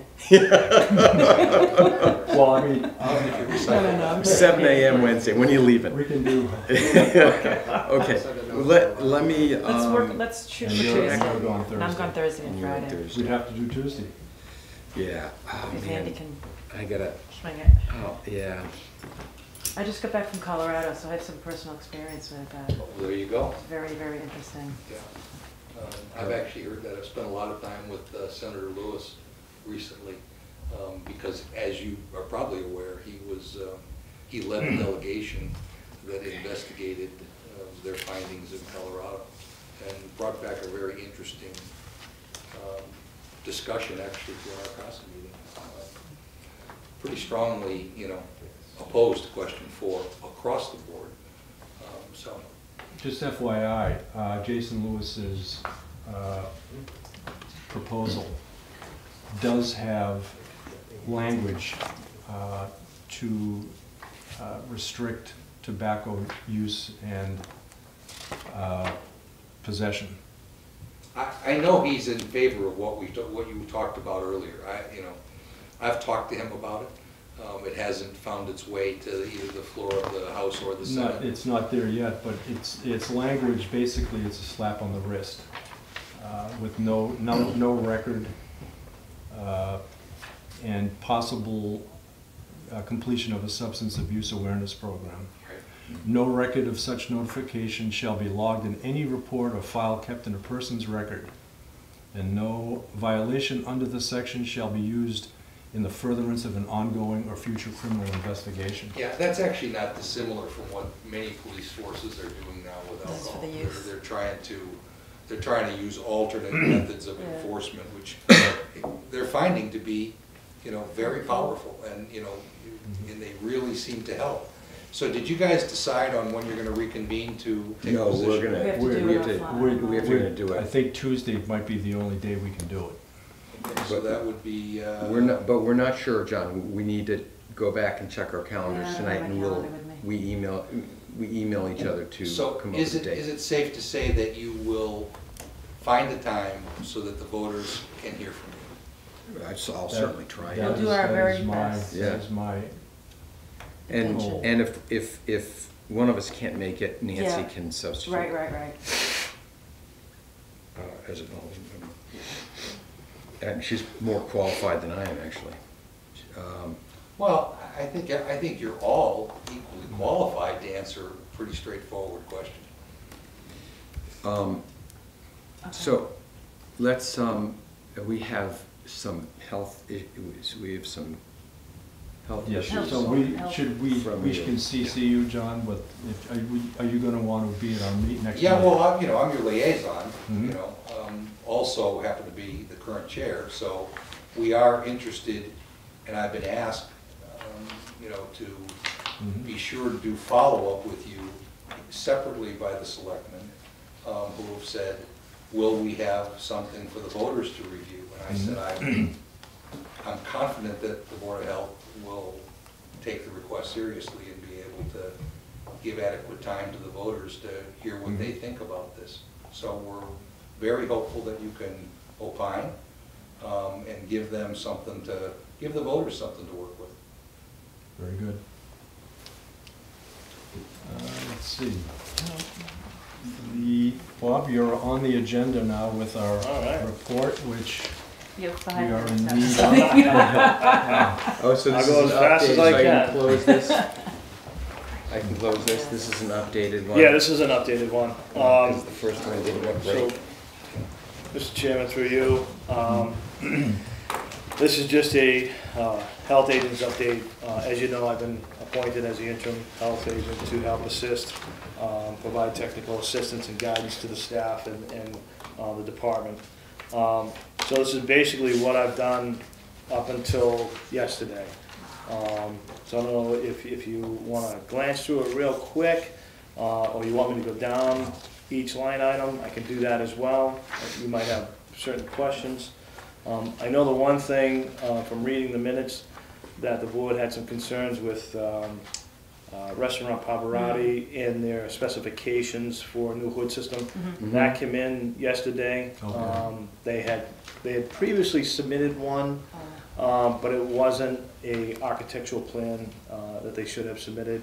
Um, So I went back down and met with the permit holders, and, and we had a great discussion, um, you know, for, you know, me trying to help assist them along this process and, and giving them different avenues in which they can Uh-huh. uh, pursue as a business uh, here in the town of of uh, Reading. Uh-huh. Um, And so they were open to some of the ideas that I suggested to them. Um, But in the interim of that, they- I I explained to them that they needed to get this reported to you as the board because there was a deadline or- or benchmark for them to do so. Um, They did instruct to me that they will have this completed at some point before, I think it's July first? July first, I think it was. Okay, yeah, so they'll, they'll have that completed, they're just gonna, uh, seek out some other options as far as bids. Um, You know, and I, I recommended that they should do so, not rely on just one bid. Mhm. Um, But so long as it's a, a licensed company in the state of Massachusetts that is gonna do this, and obviously they have to follow the proper procedure with the building department and, and pull the appropriate permits to do so. Um, So that was really the first thing um, that I worked on when I was here. Um, The next thing is Cafe Nero, which is going into Well, the can I, can I ask I'm sorry, on Restaurant Pavarotti, you asked when the, the due date was for them. For For the plans. plans For the was back in January. And did, so I'm confused, did we get the plans? That's the plan that's right the plan there. right This here. is the plan? Yeah, Oh, do okay. you want to take a okay. look at it? That's okay, I, I misunderstood you. I, I guess when I came on, there was a deadline that they were closing in on or had had- they met. missed. Yeah, Um, that's it. So I took the initiative to get on and meet with them, introduce myself, um, explain to them the situation. Right. that, You know, we needed to kind of expedite this for Yeah, them. yeah. um, To satisfy the board's uh, deadline, um, and, and that's what we've got. So Okay, we've good. gotten them into compliance with that. Good. Um, Cafe Nero, um, that is a um, establishment that's looking to go into where the old, uh, I guess, Reading Wine and Cheese Shop next Oh, to okay. the Venetian. Mhm. Um, So I know Steve, when Steve was here, uh, Delar- Delario, uh, approved that site plan. I was asked to re-review it Um, I did find some issues with it, um, and I contacted the consultant, which is Frank uh, Giacalone. Um, there was some issues missing with respect to interior grease traps and the exterior trash, uh, storage area. Um, so I'm still waiting to get, um, some information on that, but in the interim of that, I did speak with Frank. Um, Frank is, is actually the Director of Public Health up in Newburyport, who took the job that I originally had. Um, so I know Frank Yeah. very well. Yeah. Um, so he was gonna give me that information. Um, in the interim of all of that, we had a complaint about the dumpster issue over at six fifty Main Street, and I'll get into that a little bit, which Mm. kinda coincides with this, uh, issue here. Uh, but according to Frank, um, these, uh, the Cafe Nero organization is, uh, putting together an establishment, I believe in Arlington. Once that's completed, they're gonna come and start working on the establishment here. Mhm. Um, so that's why you see the building today as being a little bit dormant. Okay. Um, Okay. and so the assistant town manager wanted an update on that, and that's what we kinda went and did. Mhm. Um, so we're staying on top of that. Um, Colombo Pizza, um, these gentlemen came in, I met with them. Um, I'm familiar with them. They have a, an establishment in Winchester, which I previously, uh, was doing some consultant work there. Um, they wanted to basically take out a dishwasher. Um, so I reviewed what their request was, allowed them to do that with the contingencies, or restrictions on their permit, that they can only now use disposable products as opposed to ceramic plates and, and cups. Um, if they wanna use ceramic plates and silver and stuff like that, they have to have a mechanical dishwasher with a high temp of one eighty. Um, so they agreed and understood what the requirements were moving forward, Mhm. uh, to be, uh, allowed to be able to take that dishwasher out. Um, I, I really didn't see an issue with it, with them going to disposal. As long as they have the minimum standards of a three compartment sink and they utilize the wash, rinse and sanitize method, uh, under the code, they, they should be fine. Okay. Thanks. Um, I reviewed some temporary food applications, uh, February twenty-fourth and twenty-fifth, we had a a wrestling, uh, uh, at- up at the high school, we had a wrestling match, Mhm. um, event. Um, we sent one of the food inspectors out, John Freilich, uh, found no issues, they were in code compliance with the Massachusetts San- Sanitary Code. Currently, I'm reviewing, uh, applications as they are ongoing, coming in for Calarusso's, uh, Mhm. farm stand, I believe it is Mhm. uh, their appreciation day. Yep. Uh, I've met and, and been working with uh, Joe over there uh, Yeah. on the applicants, just to make sure that everyone's code compliant when they submit their application. So that's, Mhm. that's a continuous process. They do this every, just so you Yes. know, they do this every year. Yeah, sounds like a good time. It is, Mm. Yeah. it is. Uh, And Lot of there's, traffic. Well, what we do is, is because you, or the town per se, gets outside vendors uh, from other communities in which we know nothing about. Uh, We have to do a background check on them with respect to oh, ensuring that they're properly permitted from their Mhm. local regulatory authority, uh, that they're properly insured, Mhm. make sure that they have their food manager certification, allergen awareness. Um, So we have to do due diligence to ensure that they're properly permitted and and insured. I feel like there was an issue last year with that. Yeah, there were some questions around, uh, I think, making of donuts, deep Okay. frying Yeah, there was donuts. something But last uh, you'll, I'm sure, it sounds like you got it covered. Yeah, yeah, I I mean, I've, You could confiscate the donuts and bring them to us. Shouldn't even I, joke about it. you know, I'm talking, in, in the few conversations I've had with Joe, I, you know, I really don't see an issue. I mean, they understand, they, they get it. Yeah. Um, Yeah. You know, they wanna be code compliant too. Um, and, and we're working to get them there so that they can have a successful event.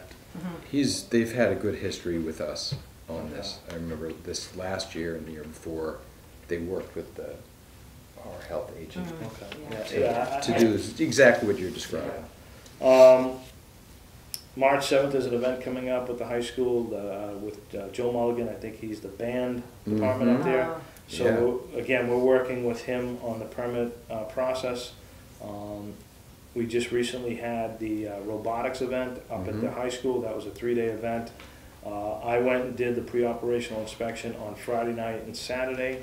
Um, I had John Freilich follow up because there was a good amount of food that was being sold and, uh, the amount of people that were there. I felt it was important that we have somebody in place to monitor Mm. during the day. Yeah. Not all day, but just a couple of hours, just to ensure that, uh, they were staying with code compliance. Um, I met with uh, the Rotary, uh, the Reading Rotary member Kathy Spur Mhm. uh, regarding the taste of, I I think it's called Taste of. uh, Taste of Metro North. Metro, Metro Yeah. North. Um, I worked uh, exclusively with Kathy last year uh, Mhm. in North Reading because the event was in North Oh. Reading. So I'm very familiar with the process and what they're gonna be doing, and so we're working together on that. Um, And that shouldn't be an issue either. Even though we stole it from North Reading. Well, it goes back and forth. Just saying. Hey, you guys are happy, you can have it. Actually, won't- Won't be going back to North Reading any longer. Oh, That's no. right. No, I'm, that's my Rotary Club, and I'm on that Oh, committee, okay. so Oh. it's staying in Reading. Okay. There we Okay. go. See? But North Reading may do their own, is what may happen. Yeah, I, I think, um, I think the chamber is looking to do their own now too. Yeah. Um, I had a discussion with Barbara, uh, I hope I'm saying this right, Mulvini. Mhm. Um, they're gonna be doing the Reading five K road race. Um, so we're working again with her, uh, to try to get them properly permitted. Um, also, uh, I had a discussion with Whitney Goodhue from the Girl Scout Mhm. troops. Um, same thing, we're working with them, um, to get them properly permitted for their event, try to expedite it, make it a little bit more simpler for these folks when they come in to Excellent. you know, expedite the process. Um, So the next item, the, the issue that we had uh, regarding the dumpster issue. Mm. Um, What we had over at six fifty Main Street is, we had one of our food inspectors out, um, and this has had a little bit of history of the area not properly being maintained. And what I found was there's multiple issues here, um, the way this was set up. I think back in the day, um, you know, this area in question, very small and very, you know, uh, compact. I think, and again, I could be wrong, I think back in the day it was probably approved for one or two restaurants. Mhm. Now you're potentially introducing a third restaurant. Yeah. The issues that I found there were, um, you know, it, it wasn't enough storage space, it wasn't conducive for what the intended purpose is for. Yeah. Um, but also, there's multiple side agreements that, place has to be shoveled out by, uh, the property management. Um, they weren't doing that, therefore, the, the disposal company was coming, they couldn't get the dumpsters out because it wasn't shoveled, so they were just leaving it. Mhm. The permit holders were unfortunately couldn't get to the dumpsters because they weren't shoveled out, so they were just leaving the trash on the ground, which hence created a public nuisance condition for the town. Um, Uh, and hence, we had a little issue with uh, infestation in the area. Welcome to Reading. So I met with all the parties, I met with the, the business owners, um, I asked them what they'd like to see, what, what do they think, you know, in their opinion, would be a better solution. Um, you know, this, to me, ideally, uh, a trash compactor in that area would, would be suffice, because you're not relying on someone to go out there and shovel who says they're gonna shovel, but they don't shovel. Right. Um, a trash compactor company or a trash disposal company that comes and just because there's traffic behind them says, I'm just gonna go around the block. Um, so I, I've met with all the parties and, and, uh, the property manager, um, has a gentleman by the name of Bob Ops. And he proposed that they reconfigure it and take out the two three yarders and put one eight yarder, um, and they would get daily pickups. My suggestion to him is, is, you know, go ahead and make that proposal, but Mhm. what I'd like to see is, is some other things coincide with that. And what I mean by that is, well, if you're gonna do this, you know, what, what is the town gonna get out of it for allowing you to do this? Because technically, really, it's an issue there, it's gonna be an ongoing issue, it's gonna continue to be an issue. But what I'd like to see is some beautification issues there, so if they're gonna put up a new fence, they're gonna move this up a little bit, I'd like to see some benches, I'd like to see some flower, uh, arrangements there, like you see across the way in that alleyway. Yeah. And they've agreed to do that. And so um, I had a conversation with the assistant town manager on this, and, and so when I think she's going out for leave for a little bit, um, the discussion was that uh, myself and her and the planning department would go out there and look at it and see how we can make this conducive for what the town's needs are, as far as, you know, making it look nicer than what it is. Because if you saw some of the pictures, it was very uninviting. Mm. Um, there was broken glass on the ground, um, and, and, and things like that. It just, it, it wasn't very nice. It was very unsanitary. And, you know, i- it's in my opinion that, you know, you wanna try to get the business community a little bit involved in what they might wanna see, what's gonna make it easier for them. Yeah. Um, and I think that that's a, a good way to work with the community from, from this board. Mhm. in my Where's this opinion. dumpster? It's Be- I mean, it'll be, it's, it's behind CVS in that area? It's, you know that little walkway that you Yes. go down? It's Yeah. on the left-hand side. Okay. So, I mean, the way. Coming, you- coming from Ma- Main, Main Street? Yes. yes. Okay. So Yeah. right now you got, There's like, yeah, yeah, it's, it's just. it's not- been a problem for, For a long for time, a long I time. guess. I'll have to pay attention, that's the, the- the Yeah. dog groomer is right there, is that? Yes. Okay, I'll, because Yeah. that's where I go, I'll have to, I mean, if Darl, I'm, Darlene probably has a better memory of this than Yeah, me, she, but she provided me We've, with all the we've background. had, we've struggled with this for a long time, I'm glad you're tackling it, Mm. and there were rats Mhm. there there's enough space for an eight-yard dumpster there? Yeah, yeah, and so, again, leads me into my next, um, Mhm. thing. so when I went out there one night to take a look at it, um, I noticed that there was a Service Master truck over by CVS. Um, so I went to kind of see what they were doing, and, and I asked the gentleman, I said, you know, what's up, what are you guys doing? And he said, well, we're pumping out water. I go, where?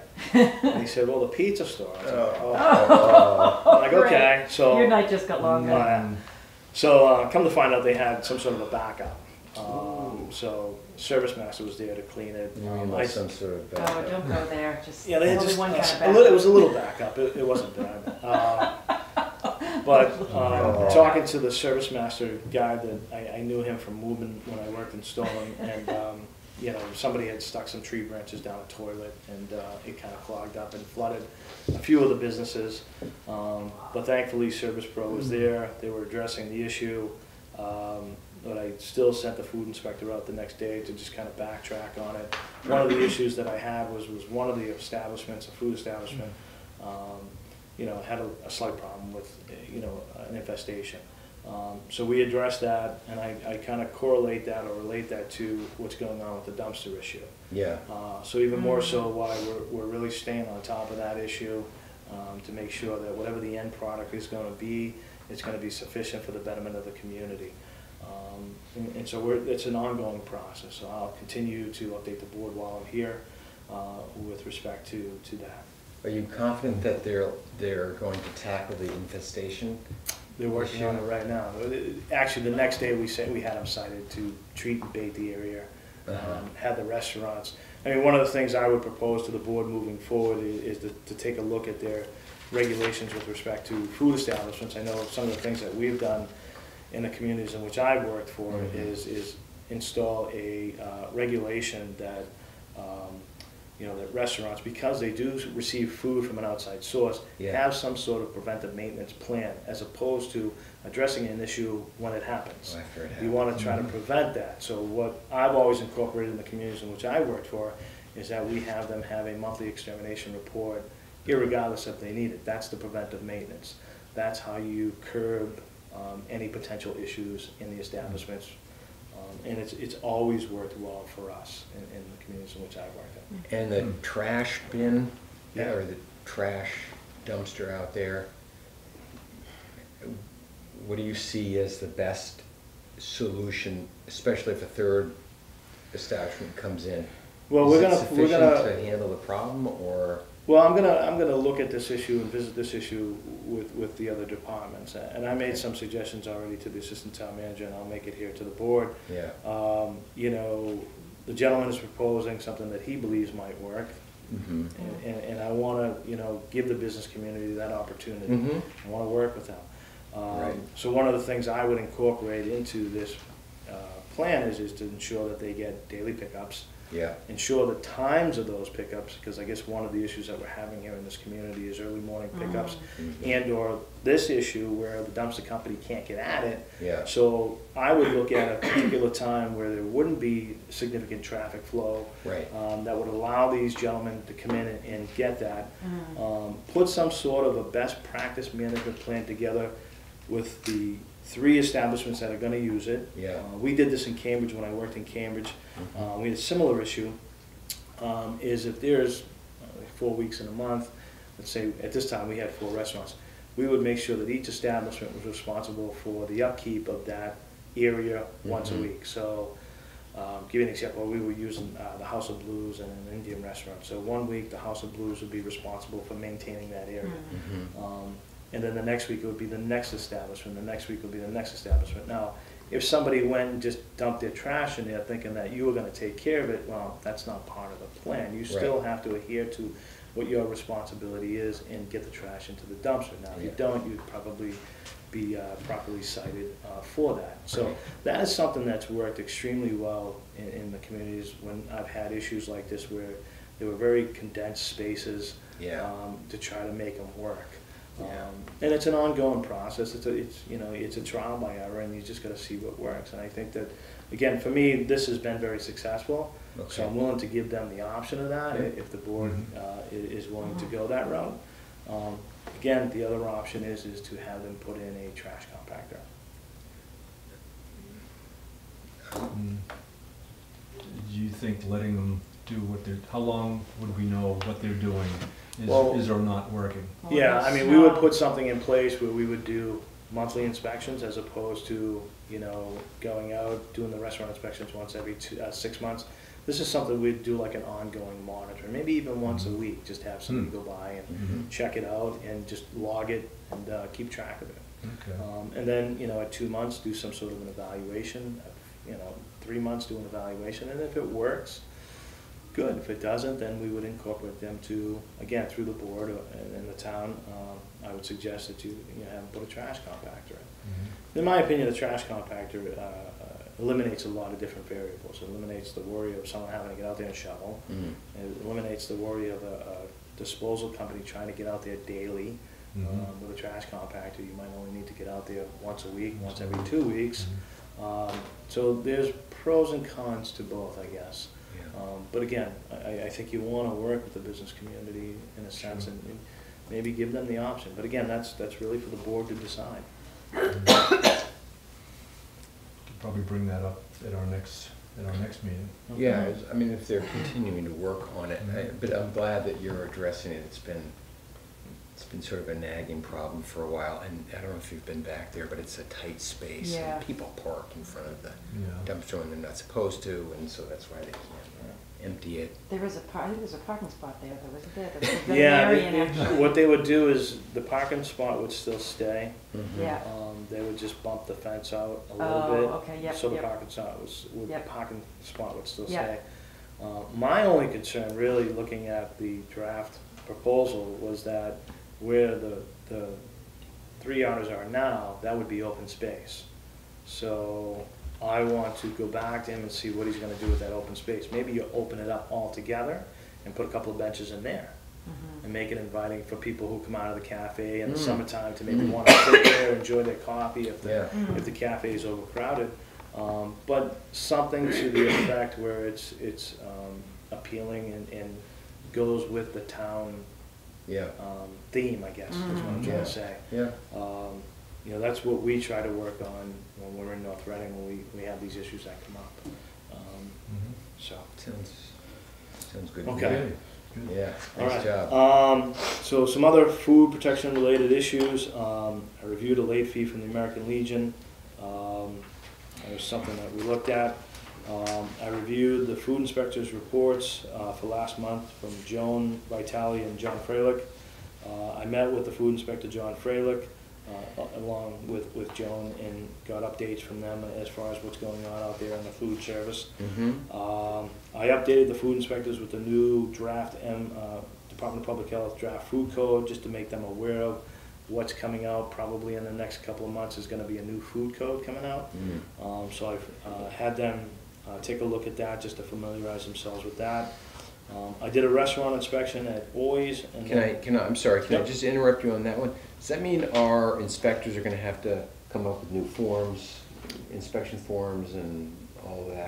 Um, possibly. What, what we did in, in my community is, Yeah. is, you know, part of this new code, you have to develop a risk-based category. Uh-huh, Um, so we've developed that in our community. I'll give you an example. Um, we have a couple of, um, uh, Chinese restaurants that serve shellfish. Yeah, That would be a category four. That would require anywhere from two to three inspections a year. Um, we have a 7-Eleven store that doesn't do any potentially hazardous food products, just all packaged food. That would be a risk category one. Mm. So we would do them once a year. So the Mhm. focus here on the risk category is to focus on the more potentially, uh, yeah, uh, food establishments as opposed to the ones that are not so much at risk. Yeah. Uh, With that comes new forms, Mhm. um, and with those new forms, they're actually pretty good. I used them in Winchester. Um, They're more, I want to say, business-friendly. Mhm. Um, If you get critical violations, it allows the businesses to make those corrections on site, Mhm. uh, which is actually pretty good. Um, So we're gonna go with that in the community in, in North Reading, and it would be my recommendation to this board that I think you'll probably have to follow suit with that. Yeah. Uh, But that, that could be, you know, six months, a year from now, um, before that code is implemented. Okay. Um, So, I, I mean, if I'm here next month, I can certainly bring a copy. I can advise you guys on what some of the changes are that are in the new code. Mhm. Um, There's probably just a few too much to go through right now. Yeah, okay, I got. I was just, I was just curious, I was like, oh Okay. geez. Um, uh, had a, uh, uh, establishment call requesting potluck guidelines, I gave them that. Mhm. Uh, I emailed some, uh, through Darlene, when we had the winter storm, we emailed out, um, some guidelines for storm management to restaurants in case that they lose power.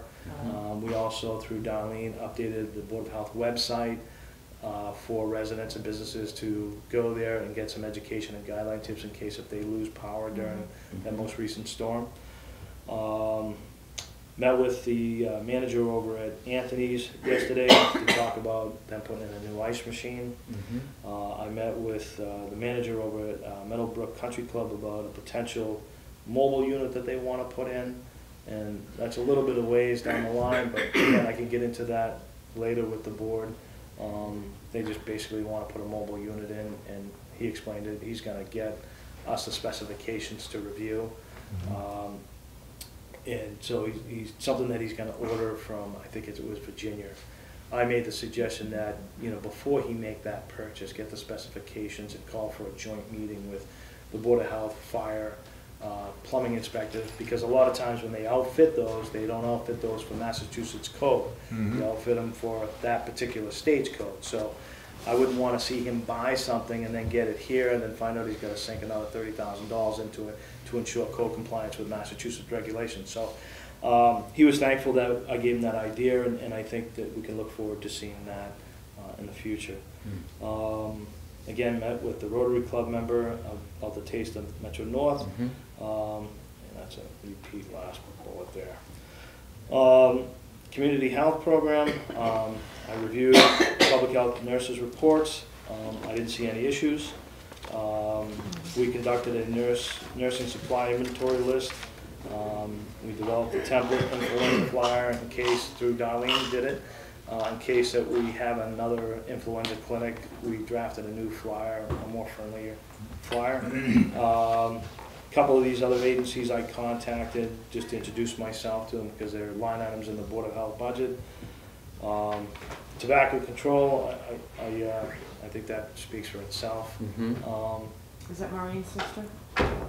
Maureen Busby, did I Maureen. spell it right? Did I Yeah. spell Her it name's wrong? Maureen. Not- It's not- Maureen, I- I'm sorry. It's all right. It was like Suzanne, it's not. I mean, so, I mean so many people. Oh, Yeah, It's yeah, just- yeah, yeah. And you know so many people. Uh, So I apologize for that. Uh, emergency preparedness, we'll just go right to that. Uh, So wait, did Michelle say anything other than about the medical recreational marijuana? Did she say anything other than it was a good question to you? Any guidance on?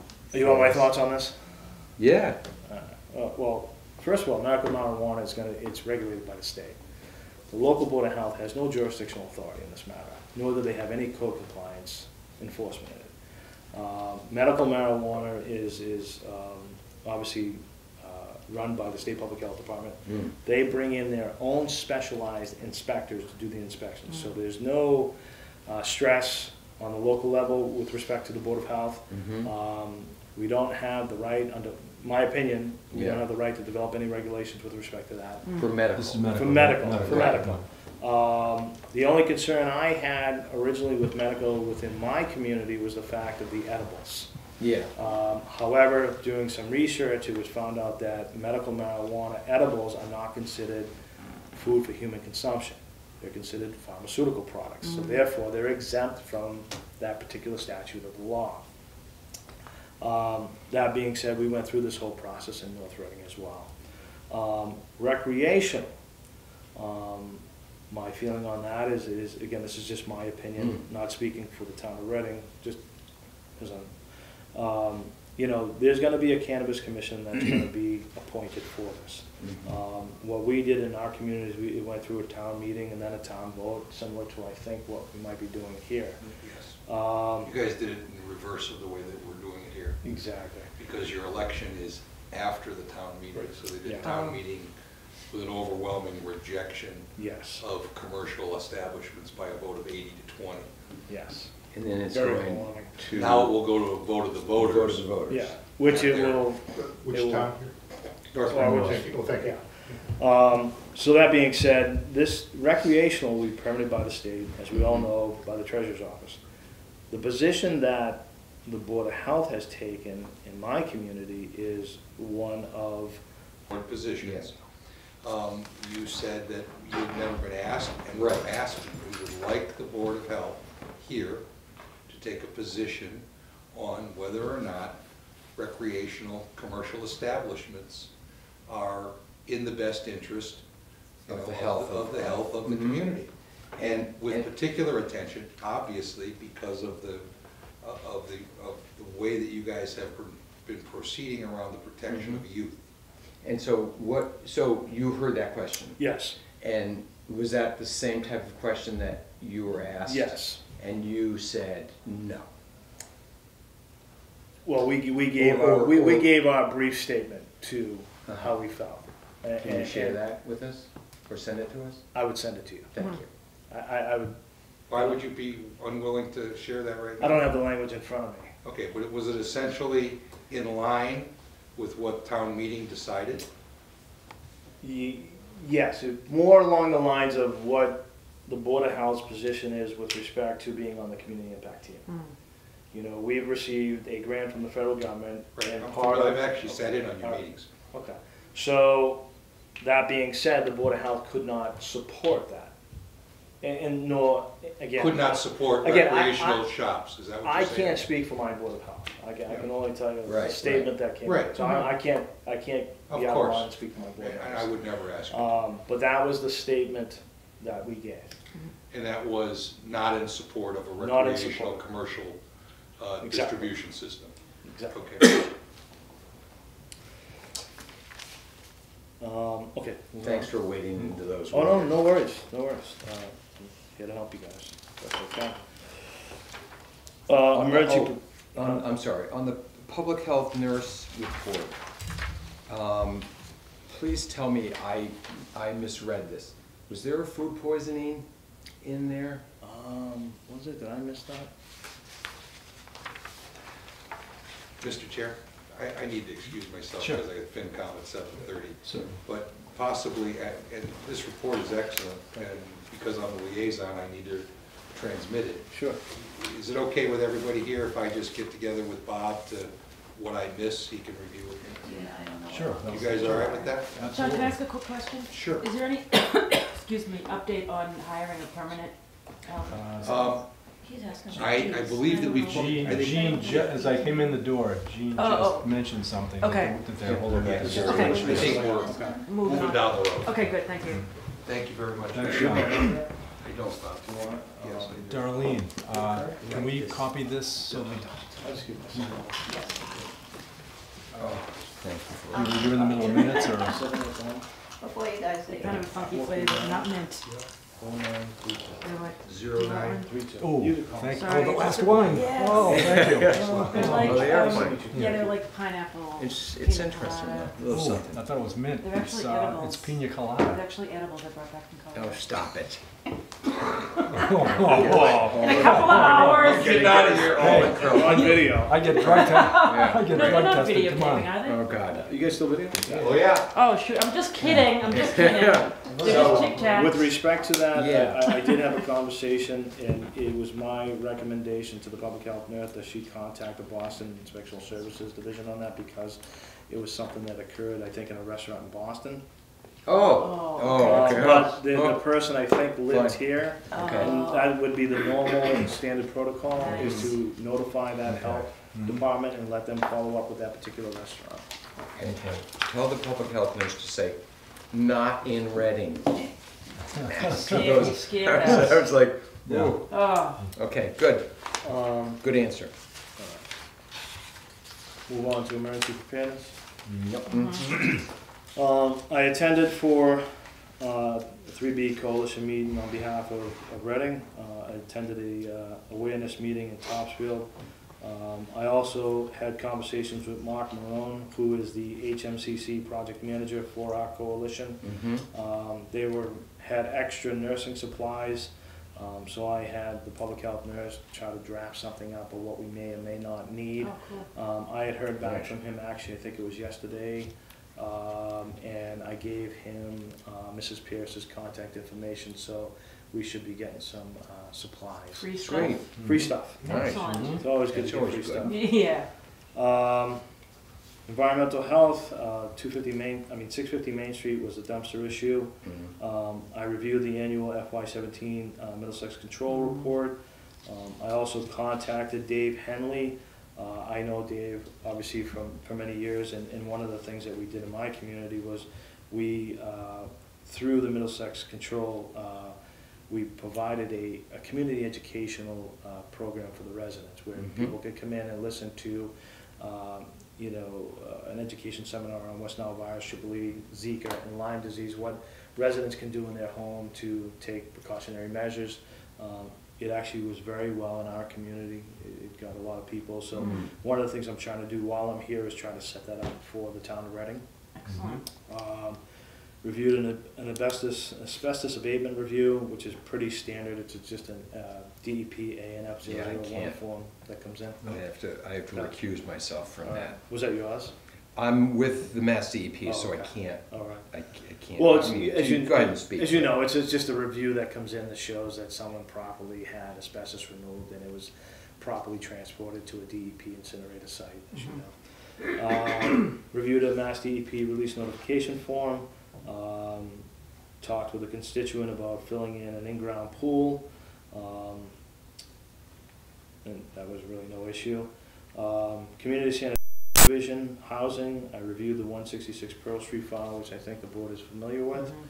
Um, I conducted a comprehensive inspection at four thirteen gazebo circle per the uh, request of a resident. Um, Everything okay? Well, they were renting out the unit, so they wanted to have a uh, pre-inspection. Oh, I So see. to show that there was no code violation, so Yeah. when the occupant moves in, they showed them that there wasn't any code violations. Oh, I It was see. pretty similar to a program that I developed in Stoneham where property owners um, could request an inspection. Yeah. And, you know, it would protect them against malicious destruction, but it would also protect the tenant against moving into substandard conditions. Yeah. Wow. So it's a very good program. And actually, John, your, your food inspector has taken over that program on me now. Who pays for that? Um, well, the property owner would pay, so it's a Okay. fifty dollar inspection fee. Wow, That's that's it? cheap. Um, yeah, it's cheap, but again, uh, it's twofolds. Again, like I said, I- it protects, Helps, yeah. It's yeah, it great. protects both parties. So, Mhm. Yeah. Yeah. uh, you know, give you an example. If, if a tenant moved in and accidentally broke a window and refused to get it fixed, the, the property owner now has, you know, the means to go to civil court and say, look, I had an inspection report. It wasn't broken at the time. Yeah. Might have done it accidentally. Then the judge or the clerk magistrate would find in favor of the property Wow, owner. that's a right? great So it's a service. good, it's a good program. Yeah, I like your forward-thinking uh, approach to these problems. yeah. So when will be coming, when will you be coming to Reading? Full Well, time. I- I Full guess- time? I don't wanna say anything on the record. Moving right along. Uh, Uh, investigated a complaint at twenty-three Spring Street for unsanitary conditions. Um, that's, I gotta do a follow-up with that. Um, I issued them an order notice to correct. Okay, Uh, so that gave them fourteen days to correct the violations. Uh, investigated a complaint on Six Robert Road for illegal dumping of leaves. Unfortunately, the leaves didn't have any names or addresses on it, so I couldn't What? determine Mhm. who DNA they were. fingerprinting, Were they, Uh, DNA fingerprinting. Uh, were they dumped on the property or on the street? It's or just a what? vacant lot that, Oh, that look, okay. you know, the- the Oh. likelihood is the abutting property owners Mm. probably Yeah. just out Mm. there. Um, but again, I, I can't I would never do distinguish. Yeah. Um, Oh, review of a dumpster complaint by the uh, Reading, uh, Police Department. Um, I was, been working back and forth with, uh, Police Officer Kevin Brown on this matter. Mhm. Um, this is an issue, again, I think mentioned earlier, uh, about disposal companies coming in early Mm. and Oh, picking yeah. up. Um, you know, the question became is should we cite in particular, it was, it was Starbucks, um, should we be citing Starbucks? And I said, well, no, why would you do that? They're, they're not there at four thirty in the morning, why would they be penalized for something that they didn't do? Right. It's a disposal company. Um, You know, if the board likes, I, I, I could take a look at what you have for regulations and, and make some suggestions or recommendations moving forward for possibly the next agent that comes in. Um, we've developed regulations when I was in Newburyport that had a little bit of teeth to it, um, to hold solid waste companies responsible for pickup, and it works well. Um, we I have- believe in this town, because I had experience with my own business, they hold the business owner responsible. They, they they shouldn't do that. It's, uh, Personally, Yeah, No, I, I mean, I wasn't there at five thirty in the Right. morning, it's illegal. but they were, they, they didn't, they warned me, but I was Yeah. under the impression that That if you were responsible. I was liable. So who, who warned you? Um, somebody in the town, Somebody in the town. Somebody in Who the shall town. remain nameless. yes, Uh, but uh, i- i- in, a- in a, in a helpful way, You as See how quick favor. we get with regulations Well, done and here, again, but- as you but know, well, again, as you know. I don't wanna, I, I hear what you're saying, we don't want to, it's a nuisance uh, to have. Well, it's a nuisance condition that presents itself. Yeah. And, and under chapter one eleven, section, you know, uh, I one twenty-two. uh, I think it's twenty-three, actually. Twenty-three. Uh, Beth, uh, You as the board can make reasonable rules and Right. regulations. Mhm. And under that same section one twenty-seven A, it does state that the Board of Health has to permit people who transport solid waste Right. in and out of the community. And again, with that, you can make reasonable regulations to hold them accountable for it. And I tell you, the reason why we did it in Newburyport is we had a dumpster company dump liquid effluent out of the back of the truck, which smelled the center of town for almost two hours on a Saturday. Oh, They would like dripping it as they went? Yeah, and it was, Yeah, it was wow. horrible. And again, you're not trying to not be business friendly, you Mm. are, but at Mhm. the same time, again, your mission statement is to protect the general Oh, public we- of we the know. community. And that's one way that you, you really have to do that. Um, Okay. What title is that? Uh, What title of the laws? I, I, thi- I believe it was one twenty-seven A, uh, but I, can- if I'm, if I'm off on that, I can get it for you. yeah. Um, Hmm. So moving forward, swimming pools, Mhm. um, I drafted a new swimming pool application through Darlene for you guys. Um, it's more of a, um, one-page application with about thirty pages of information from the Community Sanitation Department on how pools should properly operate and how they should protect themselves with, you know, fecal contamination and things of that nature. So it's a more of an educational packet for the permit holders. Mhm. Um, What do we have now?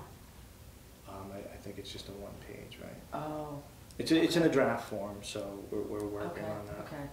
Um, I'm gonna be meeting next week with uh, Deborah Peter, actually, no, Deborah Peters, I think it was Deborah Peters, yeah. um, regarding a lifeguard issue. Uh, they want to not have lifeguards, um, so I. will- Where? Where? Um, Um, Briarwood? Briar- Briarwood, this Briarwood. condominium, Oh. on Wa- off of Washington Street. Briarwood, okay. um, So I'll Hasn't with this issue come up before? Yeah, Ah. All right, thanks. Mhm. Well, I- I- I- again, I, I think under the, your regulations, I'm, I'm, again, correct me if I'm wrong, I don't think there's, there's anything in there that mandates it. Right. Um, However, under the state sanitary code, these places have the option to not have lifeguards so long as they have the appropriate signage in place. Hmm. One of the compromises I would recommend to the board, if that being the case, if this is a troubled uh, establishment, is, you know, during the week when it's not busy, maybe you don't have a lifeguard, but you have the appropriate signage. Maybe during the peak times on a, on a Saturday or Sunday, you Mhm. make them have a lifeguard. That way you're compromising with them, Mhm, and you're Yeah. not being, Right. you know what I mean? Are Just a there- suggestion. Are there children in Briarwood? Oh, yeah. Yeah, a lot of I children. would think Yeah, that I would would imagine It's so. on Washington Street? Uh, Yeah, it's at the far end, um, towards the Parker. Okay, yep, yep, yep.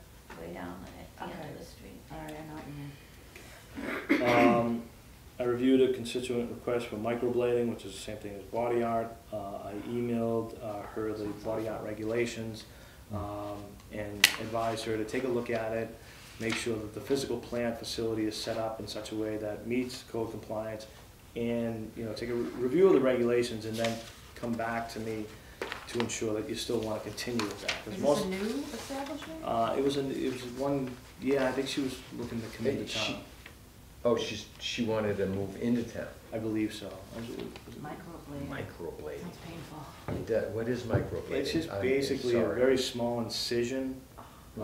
um, but again, you're, you're still gonna cut the skin, so you still have to follow. And What do you do Is when it you colored cut? or what? It's like a color, you, s- you, Color? you, you slice it a little bit and then you, I believe you, you, like, it's like if someone got burnt and they didn't have any eyebrows. Oh, Is there so- licensing for this sort of thing? Well, it would fall under your body art regulations. Like, the- Yeah, the- right. does a person have to be licensed to do this? Yes, they'd have to be certified. 'Cause And it's they'd a have to, surgery. uh, they'd have to show demonstration that they're certified in, in bloodborne pathogen Mhm. certification. Right, uh, right. pre- uh, Precautionary, um, what is it, um, I think it's precautionary, so I'm sorry, I'm drawing a blank. Sorry. Uh, but yes, they would have to be certified in a few different things that are Yeah. outlined in your regulations. Okay. And there, are there are chemicals involved in this process? Well, there's dyes, no, no major chemicals, Right. it's just more of a small incision and then, you know, Ink. dyes, So they would have to have disposable products and stuff like that. so Okay. They're not Hmm. reusing them, have an autoclave and, and things like that. Right. Um, Okay. Um, so Title V, uh, stuff that we did, um, conducted an inspection of abandoned system on forty-eight Frank, uh, forty-eight slash fifty Franklin Street. Mhm. Uh, reviewed a well permit application on Haverhill Street for irrigation well. Mhm. Um, did that well inspection on Haverhill Street. Um, again, abandoned septic system sign off for forty-eight fifty, uh, Franklin Street. Reviewed another well application on twenty-three Cape Cod Street, that was another irrigation well. Mhm. Um, Administration um, submitted a draft annual report for FY sixteen seventeen. And again, just to reiterate, that was a draft report that was sent to you um, through Darlene. There were some edits, I believe that it wasn't the final draft that was going to the town manager's office, so I think I might have inadvertently sent that to you without it not being the final draft, so I apologize for that. Um, Reviewed the Board of Health budget, um, had meetings with the Assistant Town Manager uh, on storm preparedness related issues. Um, Received emails from the town manager regarding um, a gentleman that was here tonight, Mhm. uh, and Meadowbrook Country Club. Um, Met with Board of Health Chairman, Mr. Koskin. Um, Reviewed or uh, gave comments to the Community Development Department for a planning letter for Zero Harold Ave. Um, Updated the Reading Board of Health on public advisory, uh, storm management, that's on the website, as I mentioned. Uh, Met with Maureen in the office there regarding staff time. Uh, Conversations with Kevin Brown regarding the dumpster issues. Um, And I met with Julie Mercer, if I'm saying that right, uh, regarding zoning regulations pertaining to the dumpster issue that we had. Um, Animal Control reviewed an application for one seventy-four Salem Street for, was that chickens? Mhm. It was chickens. Mm, Um, And then that's it. Mm, Well, Wow. thank you. Wow. That was a lot of work in, uh, what, Woo. You've been here a month and a half now? Yeah, This is just a month. A month, Yeah, about a month and a month and a half. half? That's nothing. Oh. Hey, That's when do you sleep? Yeah, but what do you, you're only like ten hours a week? here? Is that- He drives very fast. Wow. Thank, thank you. We You're really, welcome. we No really appreciate you helping Yeah, us out. excellent. Yeah, no, And, no and I worries. missed, you asked John about us getting a, a new, getting a replacement? A a permanent. A permanent. a re- Well, yes. Right, Steve's If, if replacement. we decide we want to replace Bob. Uh, Yes, actually, I don't know. it's a fair question. Right. I mean, gee, but, uh, whatever, yes, as I was walking in the door tonight, Gene said, we're gonna have some, uh, interviews. We were trying to, uh, figure out when I would be here. She's gonna be out on med leave, I think, for a week or two. Mhm. Uh, So it might, might be the end of April that we have the interviews. So we have some applicants. Yes, there's two or three applicants I think she's very happy with. And do we know why S- Steve, was there a, uh, a, a- like exit interview with Steve, why he left? They did, that's why he wasn't at one of our meetings, because of his e- exit interview, I think. Oh, right, yeah, yes. Uh, And do we know why? I mean, because he, he wasn't here that long. Right. Well, and that's what we can discuss, uh, in the ten, keep a tenure, Right. uh, at one, at our meeting. I didn't have, I didn't think we'd have time for it tonight. Yeah, Yeah. no, it's been, it was a big, you did a good job. Yeah. leading us through Yes, a very excellent. difficult Trial by meeting. fire, Yeah, John. that's- That's right. Yeah, I know, I know. But I had, you- I Jumped I right had in. all the I'm help. sorry, I, had help. uh, I just, I stepped down when I did. I mean, I'm not sorry, but, You are not sorry. uh, Now, we do, can we get copies of that, uh, Darlene? Yes, I- I'll When we, make 'em. when we get, because you guys, if you could, review that. I will, I Absolutely. will Oh, work on yes, that yes, tonight. yes. Yeah. I will work, now, Darlene, I'll have to send it to you because I can't send information to these guys, Correct. so I'll send it Right. through Well, you. she's gonna make copies right now. well, you're gonna I mean my- insert the, you'll my- insert my, the uh, Certifications, Ci- my, citations. Citations. Right, right, Oh. right. Are- So are those don't in copy it there? off yet. He's gonna, so like in the no, scientific. this, is no, art- this, different. this is This is Nancy. something different. This is Oh, that's Nancy's. Nancy's. This is Oh, Nancy's. Oh, yes, yes, Okay, thank okay. you. Nan- You should, uh, Huh? absolutely read Nancy's through and, Yeah, that was really Yeah. interesting, yeah, very well Well written. written. It's a Yeah, complicated, very complicated subject. it is. Um, But we'll, we'll read through Nancy's stuff, we'll read through your thing with the Yeah. citations, we'll get your way in as well. Um, And, uh, and then we'll meet next week. uh, Tuesday, is that? uh, We're working uh, I on it. hope, yeah, I got it, let me check when I get back I'll tonight. check too, I'm Okay. pretty sure I can do it. Um, Okay, Were that I better on my Google app phone, but getting there. I mean, you could always do it Thursday, I, I mean, uh, without me. Thursday. He'll be Oh, know. he's hunting. Um, no, I'm hunting Wednesday. Oh, what are you hunting, What are you now, hunting a regular hunter now? No. What are you hunting? John Halsey's Rotary, uh, had an auction. And you've Yeah. been on one a of my- hunting One of my buddies, uh, This said- is- is a hunter from Indiana, Right, said, right. Oh, let's, this is the same one we were talking about. Yes. What, what are you, what are Okay, you okay. hunting? pheasant. All right, They had it I love pheasant. Gee, we should, maybe we should, uh, Close Yeah, the yeah, meeting? yeah. Yeah, Close let the these guys leave. Sorry, Part of the guys. story. Yeah, uh, all right, well, good luck on your hunting. thank you. Um, and that is on Wednesday? That's Wednesday. It was gonna be the snowstorm day, but it had That's to get. right. Oh, so you Okay, could do okay, okay, Thursday okay, if you okay. had, without me. I- Thursday, looks like Thursday, I could do Thursday. All Okay, right. so if Tuesday doesn't work, you guys can do Thursday. Okay. I can phone in from Well, you, that, you can, we can do that. Okay, If, I if. might be with my friend Keith Urban, though, that's my plan is to. all right.